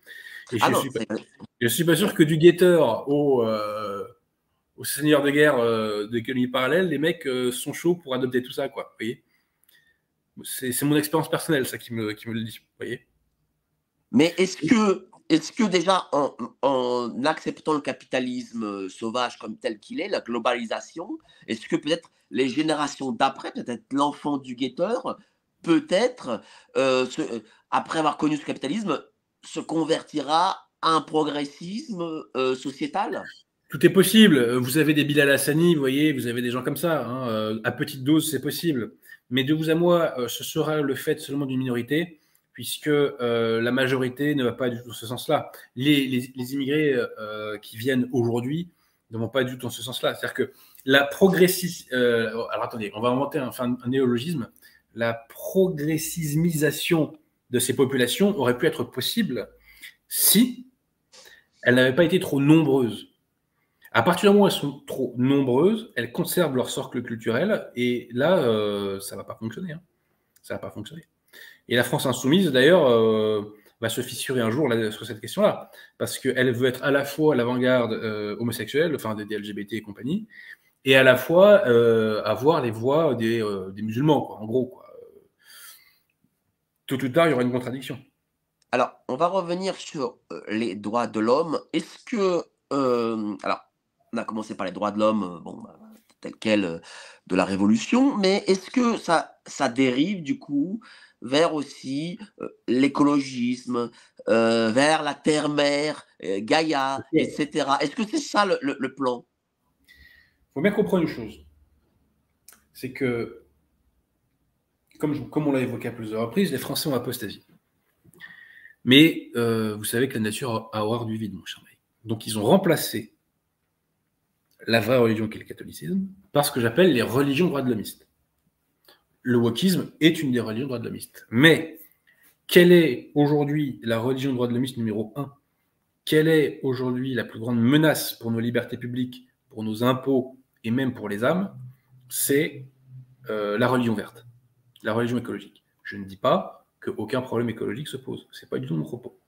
Je dis que la façon dont l'écologie est traitée est traitée de façon religieuse et que ça, c'est la plus grande menace pour l'humanité aujourd'hui. C'est la plus grande menace pour l'humanité, selon moi. Cette, euh, cette religion verte, sur quoi elle repose En gros, elle repose sur l'idée que il y aurait des menaces euh, suffisamment grandes pour que nous devions totalement changer nos modes de vie. Mais je dirais euh, changer de mode de vie pour ce qu'ils avaient conservé encore de, bon. Vous voyez ce que je veux dire? Et ça, c'est très dangereux. Alors, on, nous évoque la raréfication des matières premières. On nous évoque le trou de la couche ozone. Non pas le réchauffement climatique, parce qu'il y a un réchauffement climatique, mais euh, l'embrasement, si je puis dire, climatique. Voyez Toutes ces choses-là. Voyez L'extinction des espèces. Vous à moi, euh, moi s'il moins d'asticots et de cafards, euh, bon, ça va pas me traumatiser, quoi. Hein, dire. Mais euh, donc, il y a cette religion qui est mise en place. Et derrière, qui vient donner sa caution spirituelle ce délire Monsieur Jorge Mario Bergoglio, qui, dans diverses encycliques, Querida Amazonia, Laudato Si, euh, et dans une récente d'ailleurs, dont j'ai oublié le nom, euh, là, euh, qui a été faite il y a quelques semaines, eh bien, vient apporter, je dirais, un vernis officiellement spirituel à cette religion. Et Bergoglio, donc, professe un panthéisme, un quasi-paganisme, dans un certain nombre de ces encycliques. Voilà, il veut devenir le chef de la religion mondiale euh, écologique. Bah, c'est un... euh, la religion de Gaïa, voilà, qui est oui, la mère. C'est la religion de Pachamama, de Pachamama, la terre-mère. C'est la religion de la terre-mère Pachamama. Pachamama, qui a été honorée par Bergoglio lors du synode sur l'Amazonie en 2019. Vous voyez? Voilà. On retombe sur nos pattes. Le modernisme est le complice de, euh, du totalitarisme vert. Voilà. Ben justement, comment vous le définiriez, euh, François? Est-ce que c'est euh, est -ce c'est juste un usurpateur? Est-ce que c'est une forme d'antéchrist? Techniquement, qu'il est? Alors, techniquement, techniquement, c'est un imposteur, c'est un usurpateur. C'est-à-dire que c'est un faux pape. Il n'est pas pape. Bon. Ce qui s'est vu hein, plus d'une dizaine de fois dans l'histoire de l'Église avant Vatican II. Son logiciel, c'est le modernisme. Et euh, l'abbé Vigano euh, a qualifié récemment Bergoglio de prophète de l'antéchrist, puisque l'antéchrist, euh, c'est deux fois qu'il aura des prophètes qui vont préparer sa venue. Et, je pense que c'est ça, c'est un prophète de l'antéchrist, effectivement, parce que la secte, je dis pas que l'antéchrist va arriver demain matin, c'est pas mon propos, hein, bon. mais je dis que la secte conciliaire travaille à sa venue. L'abbé Vigano a bien parlé à ce sujet, d'ailleurs je ferai une mise au point là-dessus dans une émission ultérieure. Et oui, c'est un prophète de l'antéchrist, il professe hérésie sur hérésie, des hérésies qui sont toujours plus aberrantes. Enfin, aujourd'hui quand même, hein, pour se dire catholique, quand on est conciliaire et lefévriste, c'est invraisemblable. Euh, C'est-à-dire qu'aujourd'hui, la fausse église des conciliaires et des lefévristes bénit l'homosexualité, ils ont des parrains transgenres, c'est des, actes d'apostasie euh, toujours plus dingues, euh, de Pachamama en passant par Jean-Paul II qui embrassait le Coran, etc. Enfin, vous voyez, c'est pas sérieux. Aujourd'hui, si on veut être sérieux quand on dit catholique, il faut être des vacantistes. D'ailleurs, les, les, seuls catholiques au monde, malheureusement, sont les catholiques de position de qu'on appelle avec mépris, enfin, que nos contradicteurs appellent avec mépris les sédévacantistes. C'est malheureux, mais c'est comme ça. Et l'Église des sédévacantistes, qui est celle instituée par Jésus-Christ, ne bénit pas l'homosexualité, contrairement à celle de, nos, mes contradicteurs.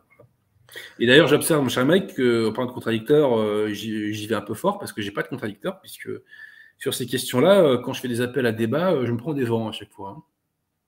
Alors, j'aimerais tellement euh, vous réconcilier avec les amis de Civitas. Mais je crois que c'est peine perdue, non? Écoutez, moi, moi je n'ai rien contre l'équipe dirigeante de Civitas, ils m'ont rien fait. Je sais en revanche que la, la, la base de, des jeunes de Civitas, euh, le févriste, me diffame et me calomnie énormément. Euh, J'ai appris ça là il n'y a pas longtemps. Ils s'en expliqueront avec le bon Dieu, c'est pas mon problème. Euh, S'ils veulent commettre des péchés mortels, ça les regarde. Euh, voilà, mais bon, Civitas, euh, enfin moi je me, en fait, ils n'existent pas dans l'univers mental. Vous voyez ce que je veux dire? C'est, euh, je mène des combats qu'ils ne mènent pas. malheureusement, et, moi j'aurais aimé qu'ils soient à mes côtés. J'aurais aimé, hein, mais voilà, je mène un combat pour la foi qu'ils qui ne mènent pas et même qu'ils combattent, hein, puisqu'ils défendent l'idée selon laquelle la secte conciliaire serait l'Église catholique. Ils sont en communion avec ces gens-là, ils sont unacum avec ces gens-là. Voilà, donc Civitas, je prie pour eux, je leur souhaite le meilleur. Il y a des gens très bien chez eux. Ils ont mené des combats qui euh, parfois ont été utiles, hein, quand ils ont empêché euh, tel événement, tel événement, euh, c'était pas inutile. Euh, c'était même une bonne chose. Voilà, mais bon, après, voilà, moi je mène un combat pour la restauration des principes et pour la défense de la foi, et malheureusement, bon, bah, ils sont pas à mes côtés.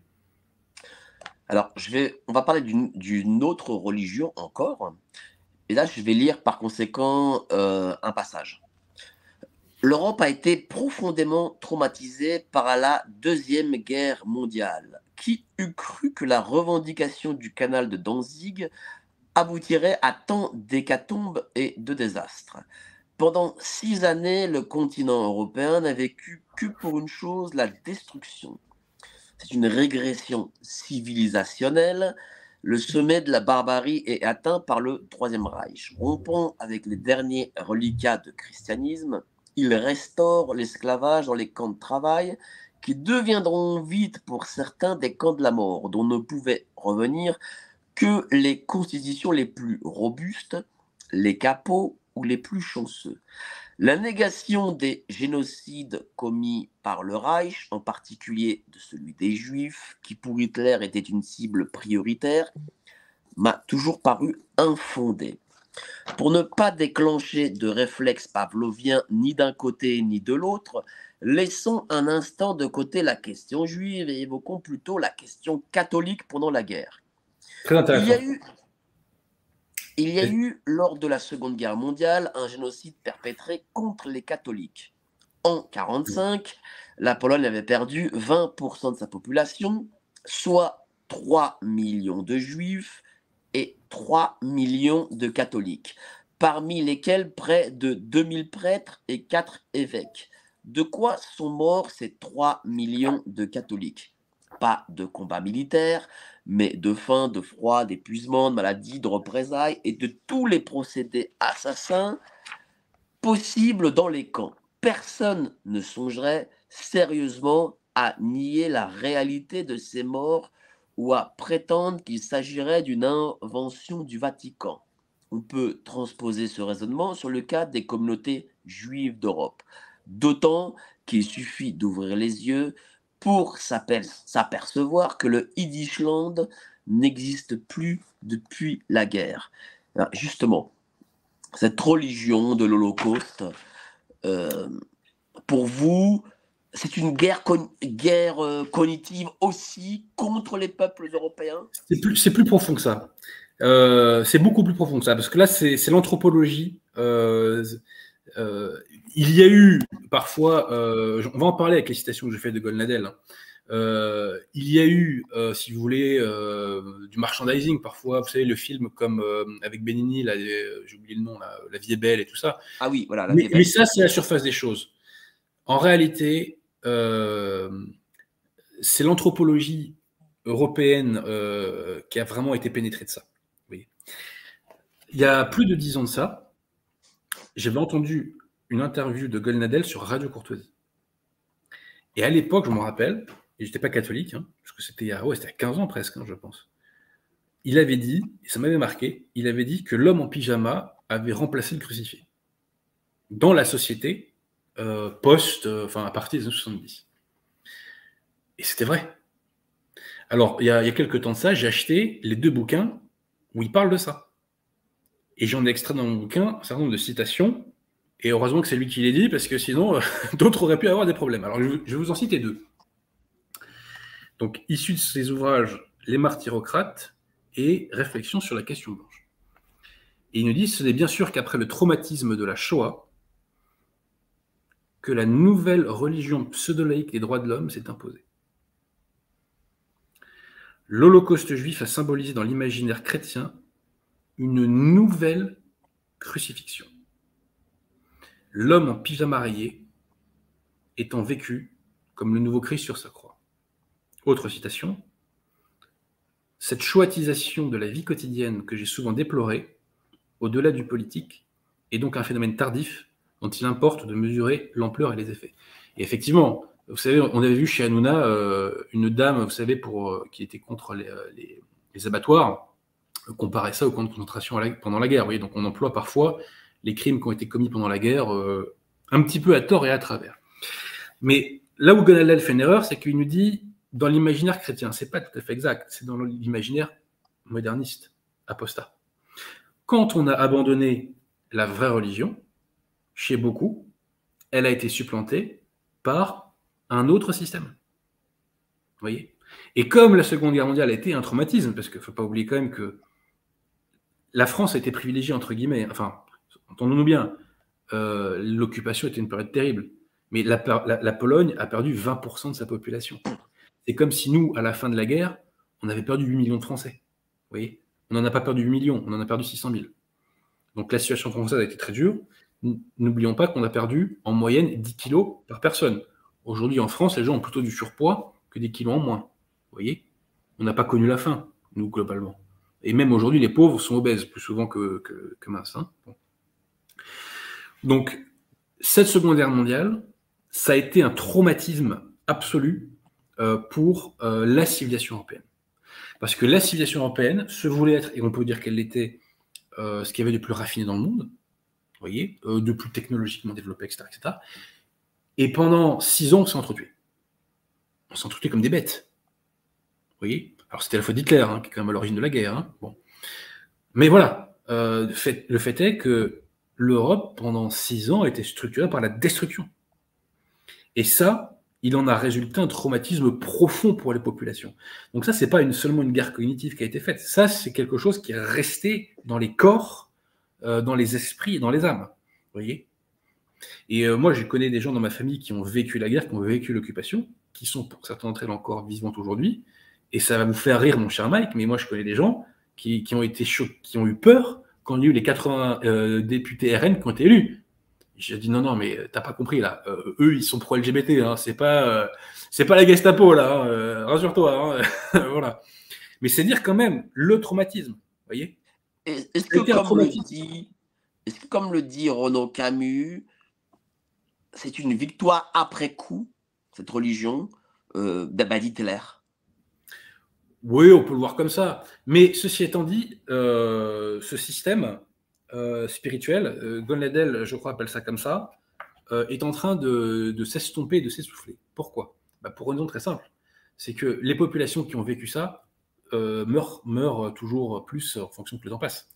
Et donc, les populations qui reviennent n'ont pas la même sensibilité et n'ont pas vécu dans leur chair ce traumatisme. Vous voyez et effectivement, au début, vous avez euh, lu un extrait dans lequel je réfute le négationnisme, parce que euh, d'une part, c'est une question d'honnêteté intellectuelle, et parce que beaucoup de gens sont tombés là-dedans, euh, et ceux qui tombent là-dedans font sécession avec le réel.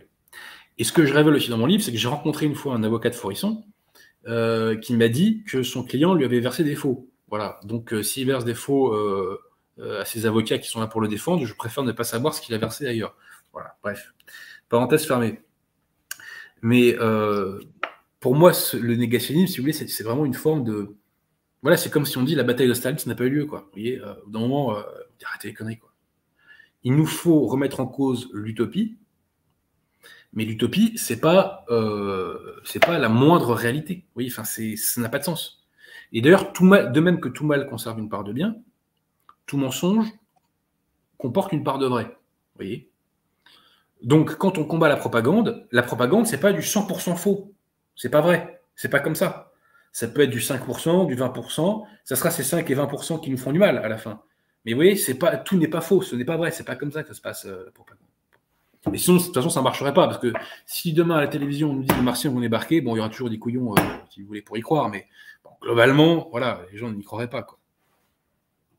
Oui, enfin, ça, ça pour le coup, je, suis totalement d'accord. Après le Covid, remarquez, après le Covid, effectivement, euh, ouais, on peut avoir des Non, mais c'est vrai qu'aujourd'hui, euh, après ce qui s'est passé après la crise sanitaire, là, on peut dire que tout, tout peut, être, euh, tout peut être possible.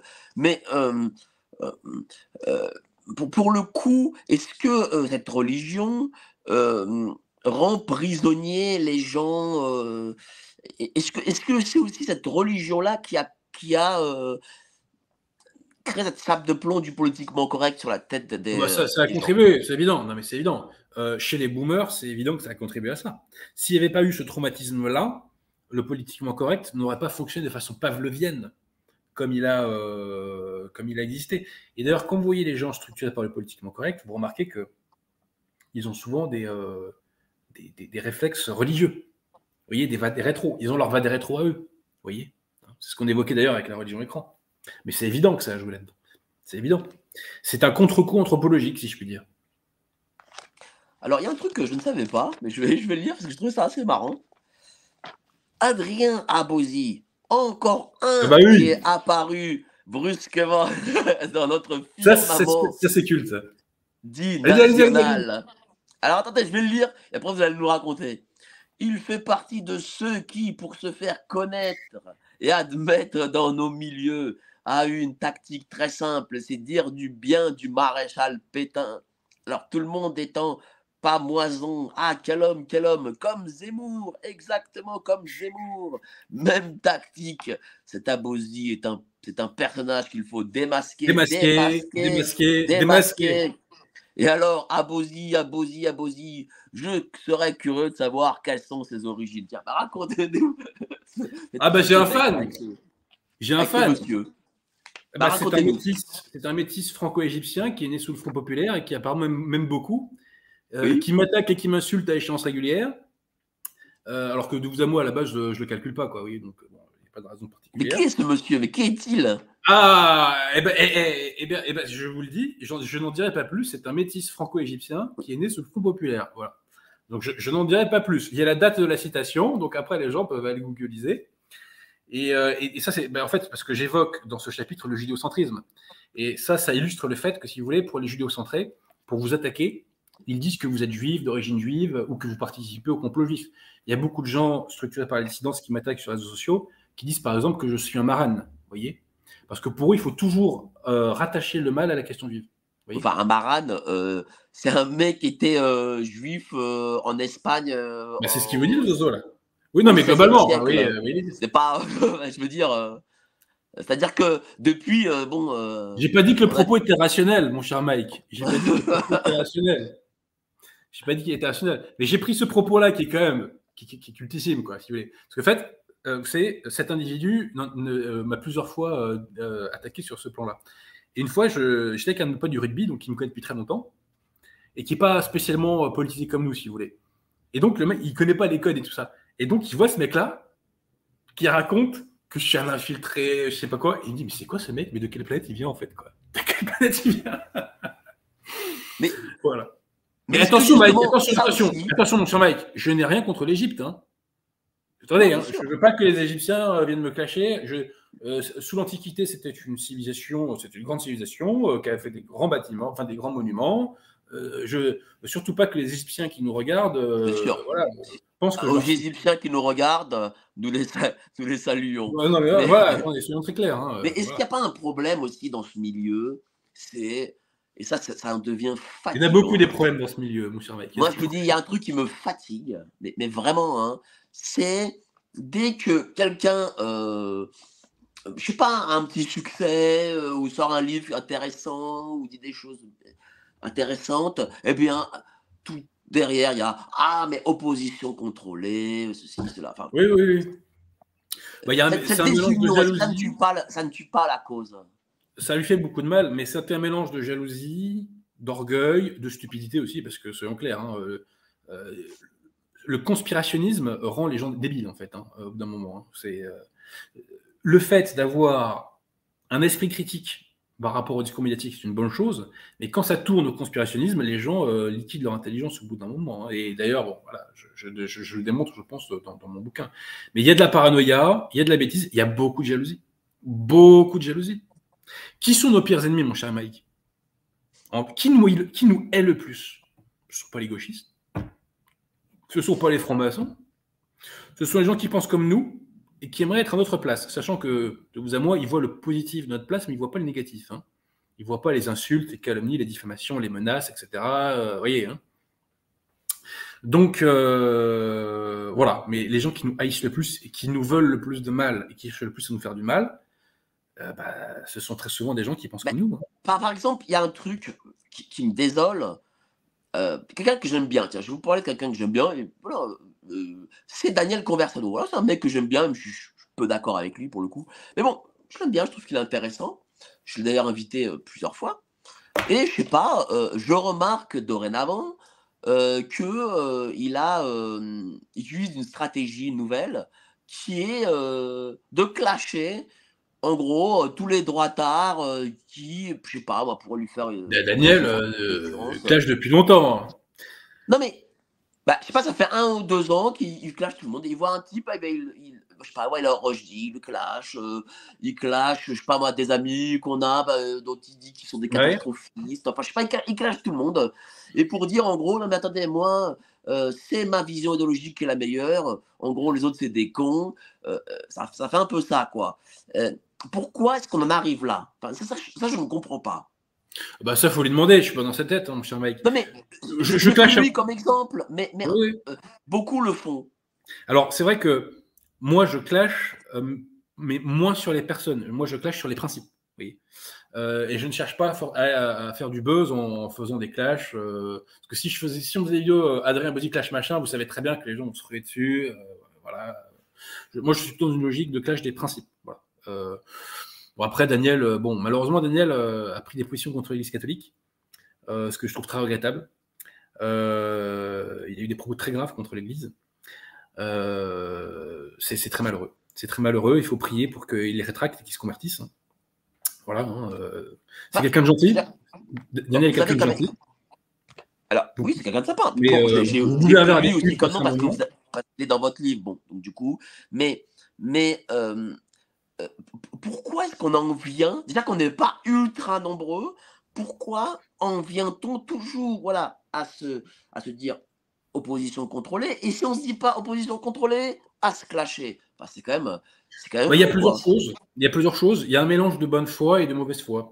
Il y a un mélange de bonne foi quand on a des oppositions doctrinales avec quelqu'un et effectivement, euh, eh bien, on veut euh, réfuter euh, la position doctrinale de cette personne.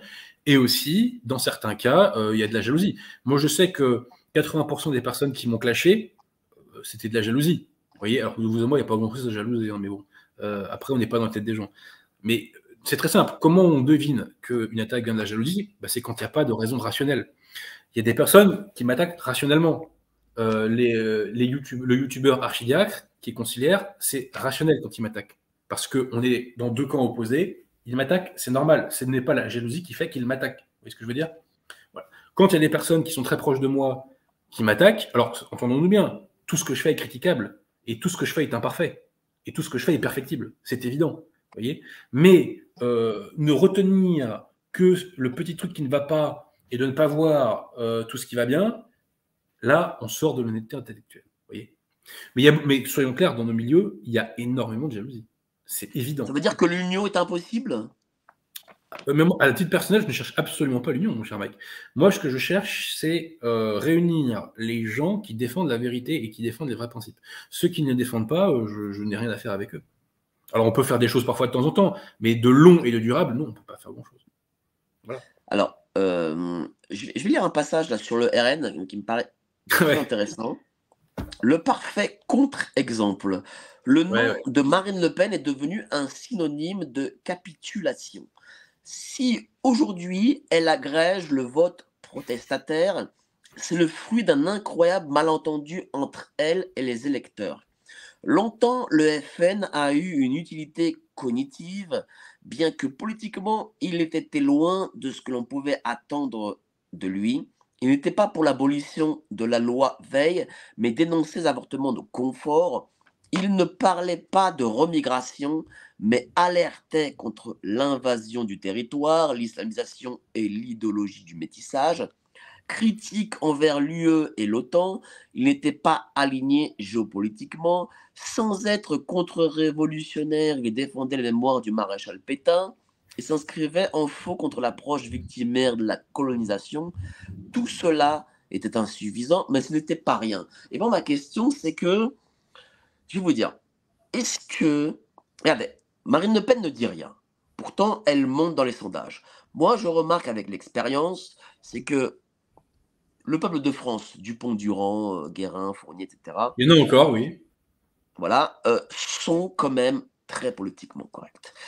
Euh, est-ce qu'il ne faut pas justement euh, avancer masqué plutôt qu'avoir une stratégie Trump qui peut marcher en Amérique, mais qui en France, je ne sais pas pourquoi, fait peur aux ah ben, Écoutez, je vais vous répondre que quand vous avancez masqué, vous travaillez pour les idées du camp d'en face, parce que vous n'osez pas professer les vraies idées et vous donnez une légitimité aux idées du camp d'en face. Par ailleurs, mon cher Mike, politiquement correct, oui et non. C'est sûr que si vous allez dans les centres-villes, alors là, bon courage pour trouver un esprit libre et non conformiste. Mais, plus vous éloignez des centres urbains et des centres du pouvoir, moins les gens sont politiquement corrects. Vous savez, euh, moi, j'ai des racines dans un département qui était à gauche euh, pendant longtemps, et quand j'étais jeune et que j'ai discuté avec les jeunes, j'étais choqué de leurs propos moi-même, vous voyez. Alors que ces gars-là votent à gauche, mais si vous ne le précisez pas, vous ne devinez pas sur les sujets. Euh, voilà, hein, vous, vous suivez mon regard.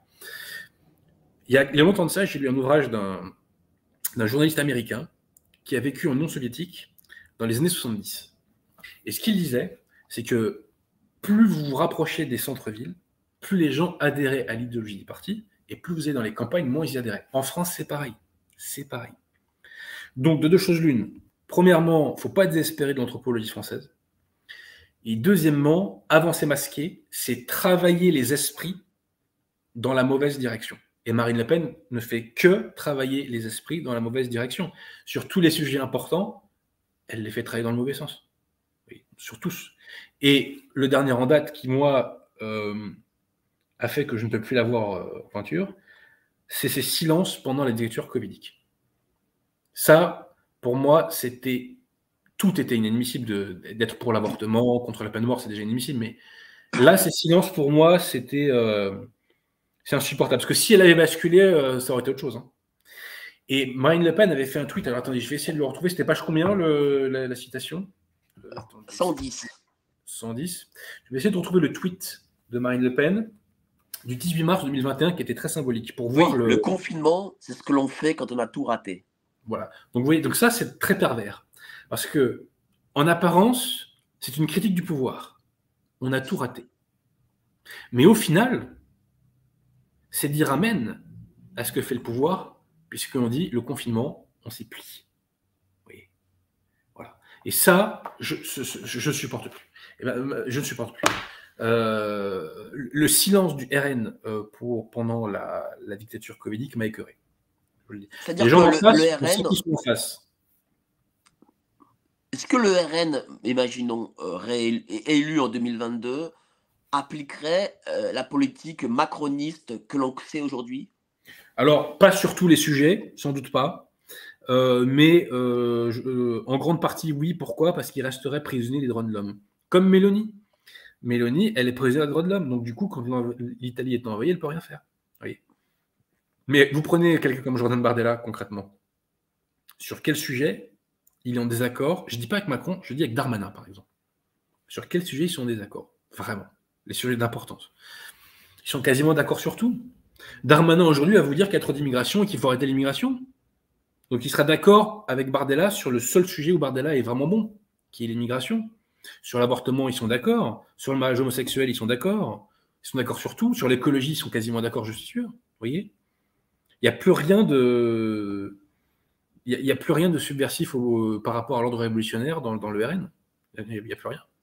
Euh, Alors, du coup, et, je vais vous dire, Bardella, un truc tout bête, hein, mais euh, j'ai vu une très courte vidéo de lui sur YouTube. Euh, oui, il est sur un marché, il s'arrête et il prend un verre de vin, vous voyez. Tout respire la, politique, la politicarderie chez lui. Vous voyez, rien de spontané, pas de geste spontané, vous voyez ce que je veux dire On en est mort de ça. Donc, monsieur Bardella, si vous m'écoutez, arrêtez, quoi. Soyez plus sincère, cultivez-vous, convertissez-vous, faites des études, parce que je crois qu'il est en échec scolaire à la fac de géographie.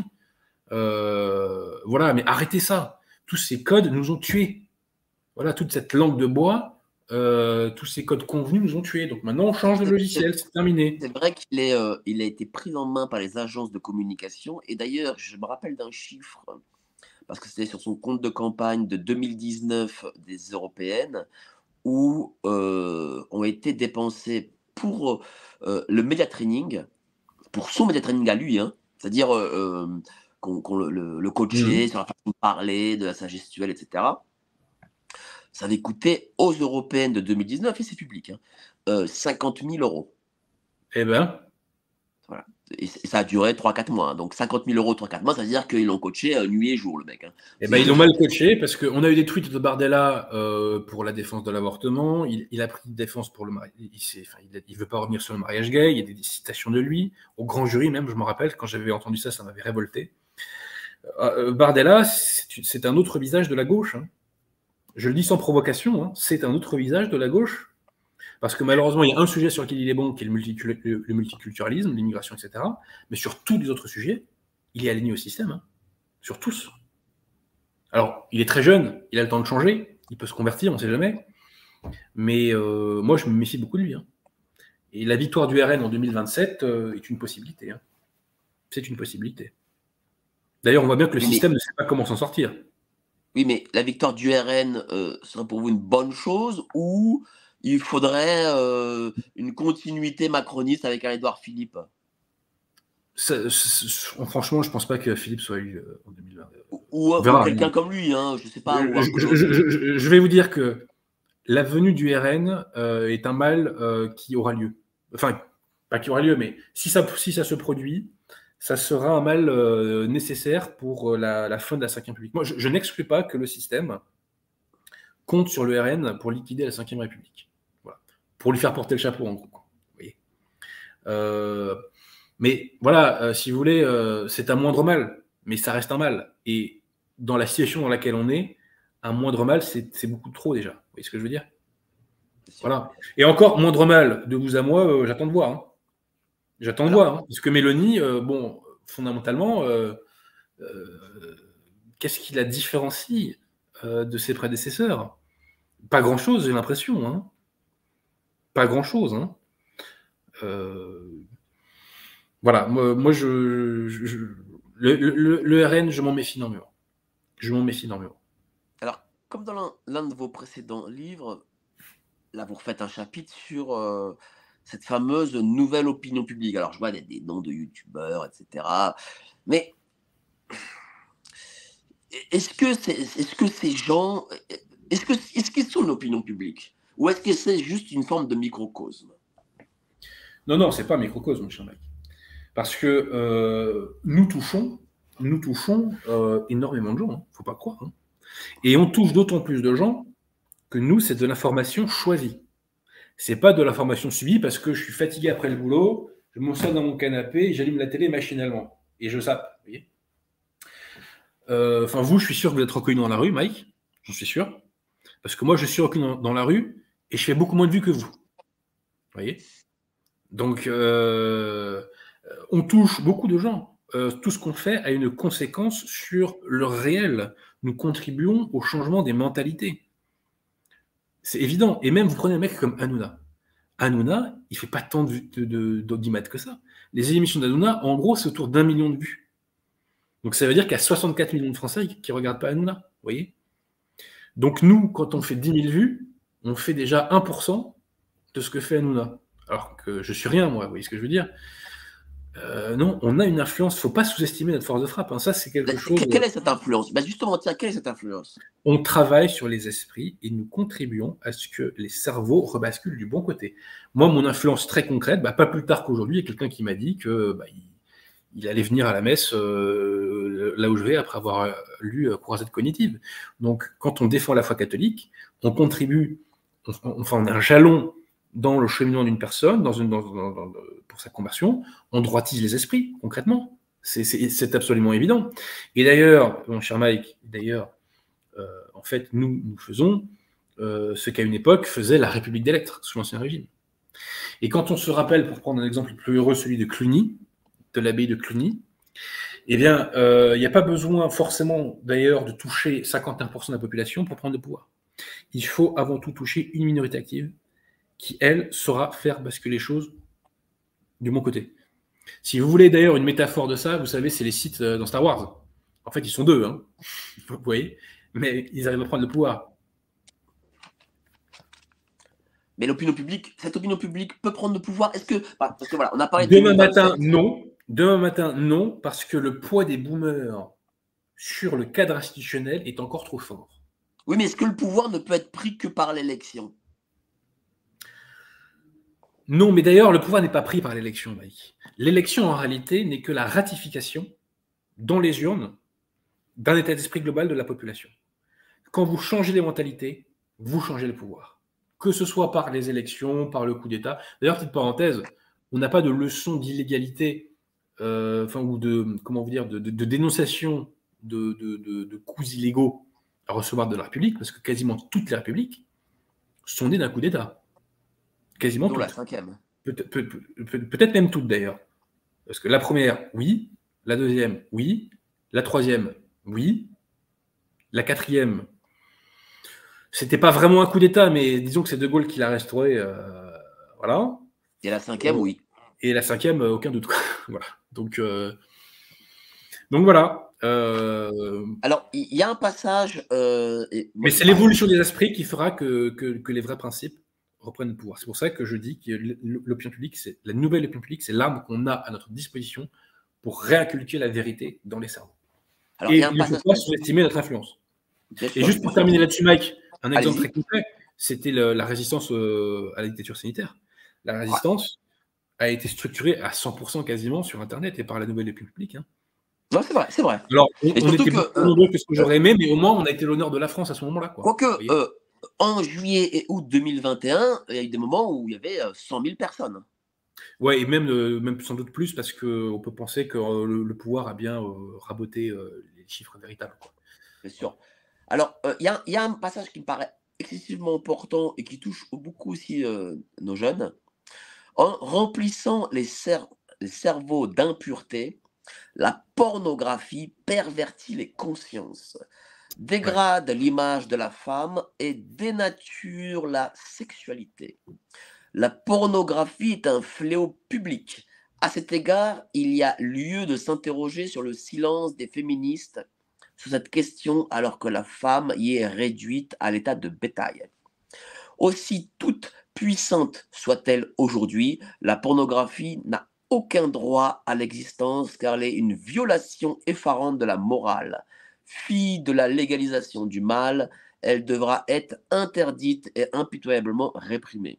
Bien qu'elle n'en tire aucune popularité, le devoir de nouvelle opinion publique est de se faire le porte-voix de la prohibition de la pornographie. L'enjeu, la protection des consciences. Allons-nous encore longtemps laisser la pornographie pervertir les esprits et détruire les âmes? Seuls répondront positivement à cette question ceux qui désirent continuer de vivre dans un monde de fous. Et oui, on voit euh, ces jeunes, en plus, euh, par le biais des smartphones et de la pornographie, bah, du coup, gratuite, euh, être pervertis. Mais, mais justement, cette nouvelle opinion publique, hormis, tiens, peut-être euh, la jeune fille euh, oh, Thaïs Descuffon, je, trouve que peu en parle. Oui, mais c'est un sujet dont personne ne parle parce que c'est un sujet qui nous gêne. Euh, mais la, pornographie, c'est démoniaque. C'est démoniaque, à tout point de vue. il faut l'interdire pour préserver les cerveaux. Rappelez-vous, il y a une femme qui a été atrocement violée à Cherbourg, là. je dis même pas comment, tellement c'est horrible. Le mec qui a fait ça, je vous mets ma main au feu que si vous regardez son historique, le mec était drogué au porno. Et qu'il a eu le cerveau complètement flingué à cause du porno. Je vous mets ma main au feu. Donc le porno, c'est une saloperie, d'accord? Euh, Il faut l'éradiquer.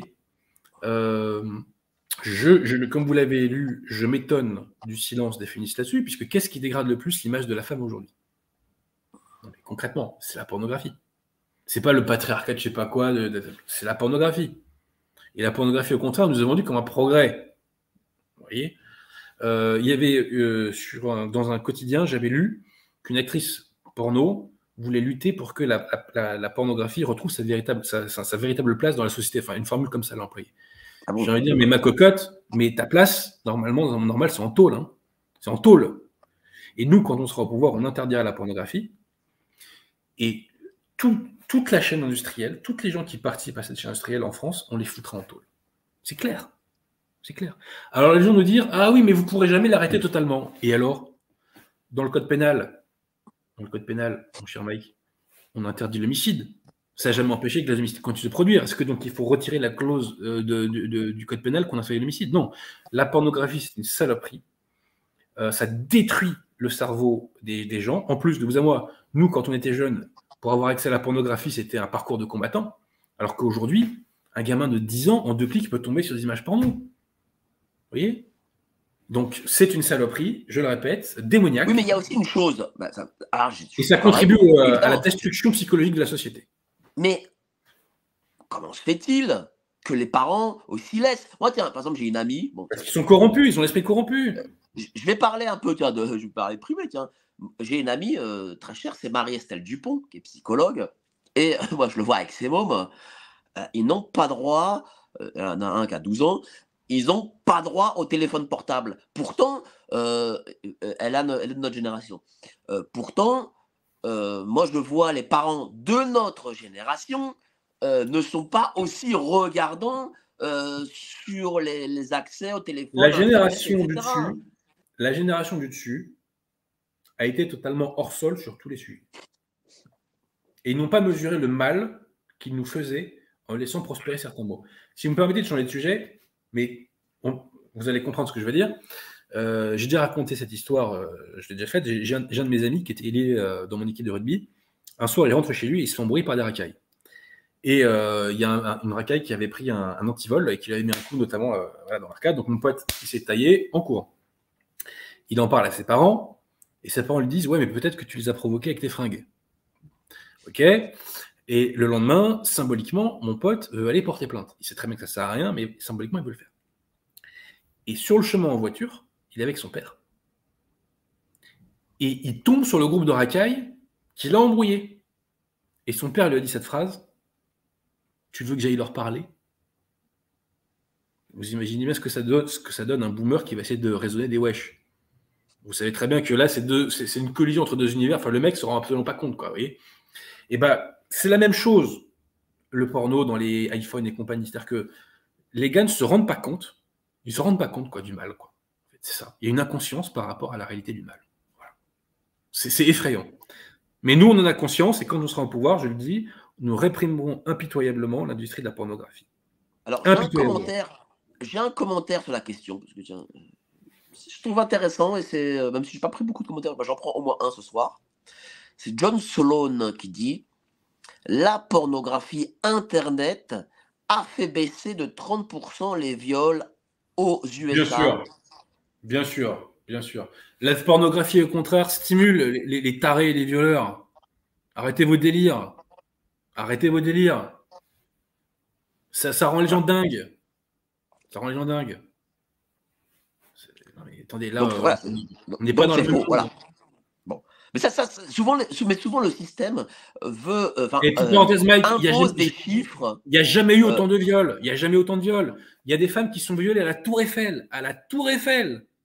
Ça n'existait pas, ça, quand on était petit. Hein y D'ailleurs, moi, j'ai un chapitre consacré à, pour cette- à la peine de mort, parce que je suis pour la restauration de la peine de mort, et je, je veux que les violeurs soient condamnés à mort. Il est inadmissible que les femmes françaises ne puissent pas marcher tranquillement dans la rue en France. C'est inadmissible. Inadmissible. Et si pour ça, il faut guillotiner les violeurs, guillotinons les violeurs. Voilà, c'est tout. C'est inadmissible. Qui, qui, qui veut voir des femmes de sa famille être persécutées de la sorte? Vous voyez? Non, non, non, mais attendez. euh, Là-dessus, je suis en transition. Je suis en transition. Pas de pitié, peine de mort. Et quand, quand on verra les têtes rouler place de la Concorde des violeurs, il y en a beaucoup qui réfléchiront deux fois avant de commettre ce crime horrible. Alors, on a le viol, on a aussi euh, la pédocriminalité. Pour le coup, Ouais, Mais Euh, peine de euh, mort euh, aussi. Mais c'est du viol, c'est une sorte de. euh, moi, c'est quelque chose que je ne connaissais pas spécialement. Et euh, bon, j'a- j'a- j'avais, j'ai lu un livre euh, et euh, donc je me suis penché et j'ai eu, euh, aussi interviewé un, un môme, un adolescent euh, qui venait de l'ASE, donc, en gros la DAS de, l'époque, et, euh, qui euh, vivait à l'hôtel parce que l'ASE, voilà, l'a mis à l'hôtel comme ça, qui était violé euh, dans cet hôtel parce que ce qui est dingue aussi, on n'en parle pas du tout, hein, mais, ça c'est vraiment fou. C'est-à-dire qu'on a un jeune orphelin, voilà, on a un jeune orphelin qui a 14-15 ans, au lieu d'être dans un orphelinat, il est mis en pla- il est mis, il est pris euh, par l'État dans un hôtel de clandestins. Enfin, c'est quand même fou, quoi. Je vous jure, c'est vrai. Hein. Je vous promets, c'est vrai. Et euh, j'ai appris aussi, parce que hier, on a fait une émission avec Carl Zero. Pas bien, il faut pas, que je le dise. Bon, voilà. En tout cas, on a fait ça hier soir ah, sur TVL. TVL, qui sera diffusé le 15, 15 novembre. Lui a parlé d'orphelins que euh, l'ASE, c'est-à-dire l'État, met dans des campings. Pas dans des campings, vous imaginez? C'est-à-dire que vous avez des orphelins français. Vrai, hein, qui sont dans des hôtels euh, je peux vous dire que les hôtels de clandestins, vous les voyez à Paris, hein, dans le 18e, le 19e. oui, dans le 13e aussi. Hein. Dans le 13e. Euh, ben vous avez des orphelins français. Euh, dans des campings, vous avez des orphelins français. Ces orphelins-là sont violés et tout ce que vous voulez, battus même. Et enfin, c'est. On, est vraiment dans une société et même dans un, dans un état, il faut le dire, à, à dérive complète. Hein. Les institutions euh, nous ont livrés aux barbares. À des gens qui nous haïssent.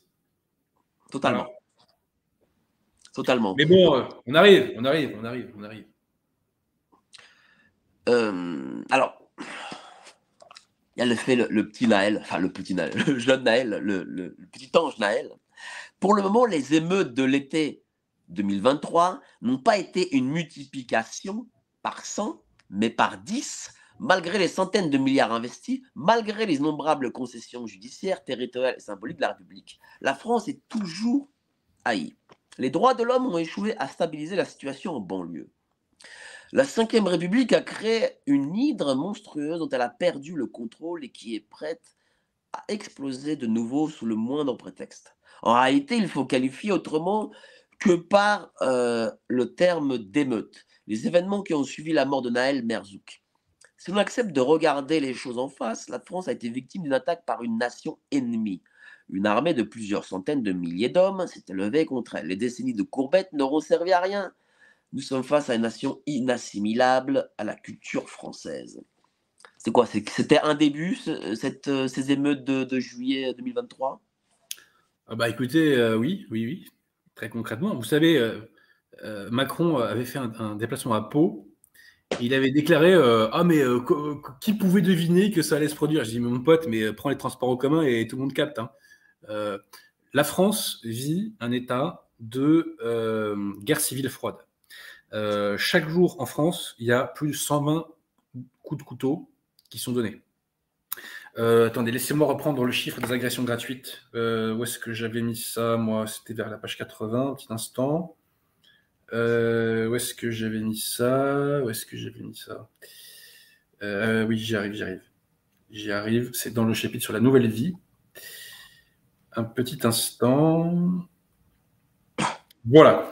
Donc, en 2020, le Figaro relève qu'il y avait donc 120 agressions au couteau par jour en France. Par jour. Ce qui veut dire qu'en France, il y a 43 000 agressions au couteau par an en question. Qui sont les planteurs, qui sont les plantés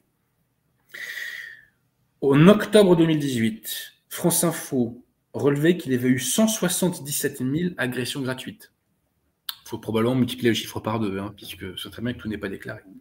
Et parmi ceux-ci, 134 morts. Donc une guerre est faite par, au peuple français.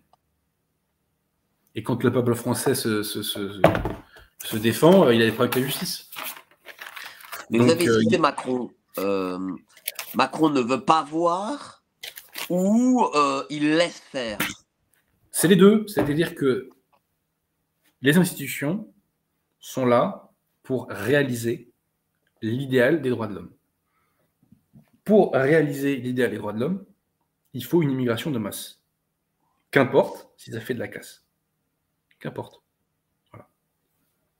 Mais est-ce que ce n'est pas une façon aussi pour eux, parce que cette immigration de masse, elle va aussi les submerger, eux, et ça, ils n'y pensent pas? Ils pensent que ça ne touchera jamais. Ils pensent que ça ne touchera jamais. Vous savez, il y a une phrase euh, qui avait été écrite par euh, quelqu'un qui avait bossé avec Claude Guéant. Et euh, en fait, cette personne racontait que à une époque, il allait à l'Élysée en voiture et que sur le chemin, il voyait beaucoup de sans-papiers ou je ne sais plus quoi, etc. Et il en avait parlé à Claude Guéant. Et Claude Guéant lui avait répondu Mais c'est pas grave, prenez un autre trajet. Oui. Donc ce sont des gens qui, pensent qu'ils peuvent échapper au réel. qui peuvent échapper au, réels dévastateurs qu'ils ont créés. Mais cette génération euh, des boomers est hors sol et ils ne sont pas en contact avec la réalité. C'est ce qu'on avait vu avec la, pornographie tout à l'heure.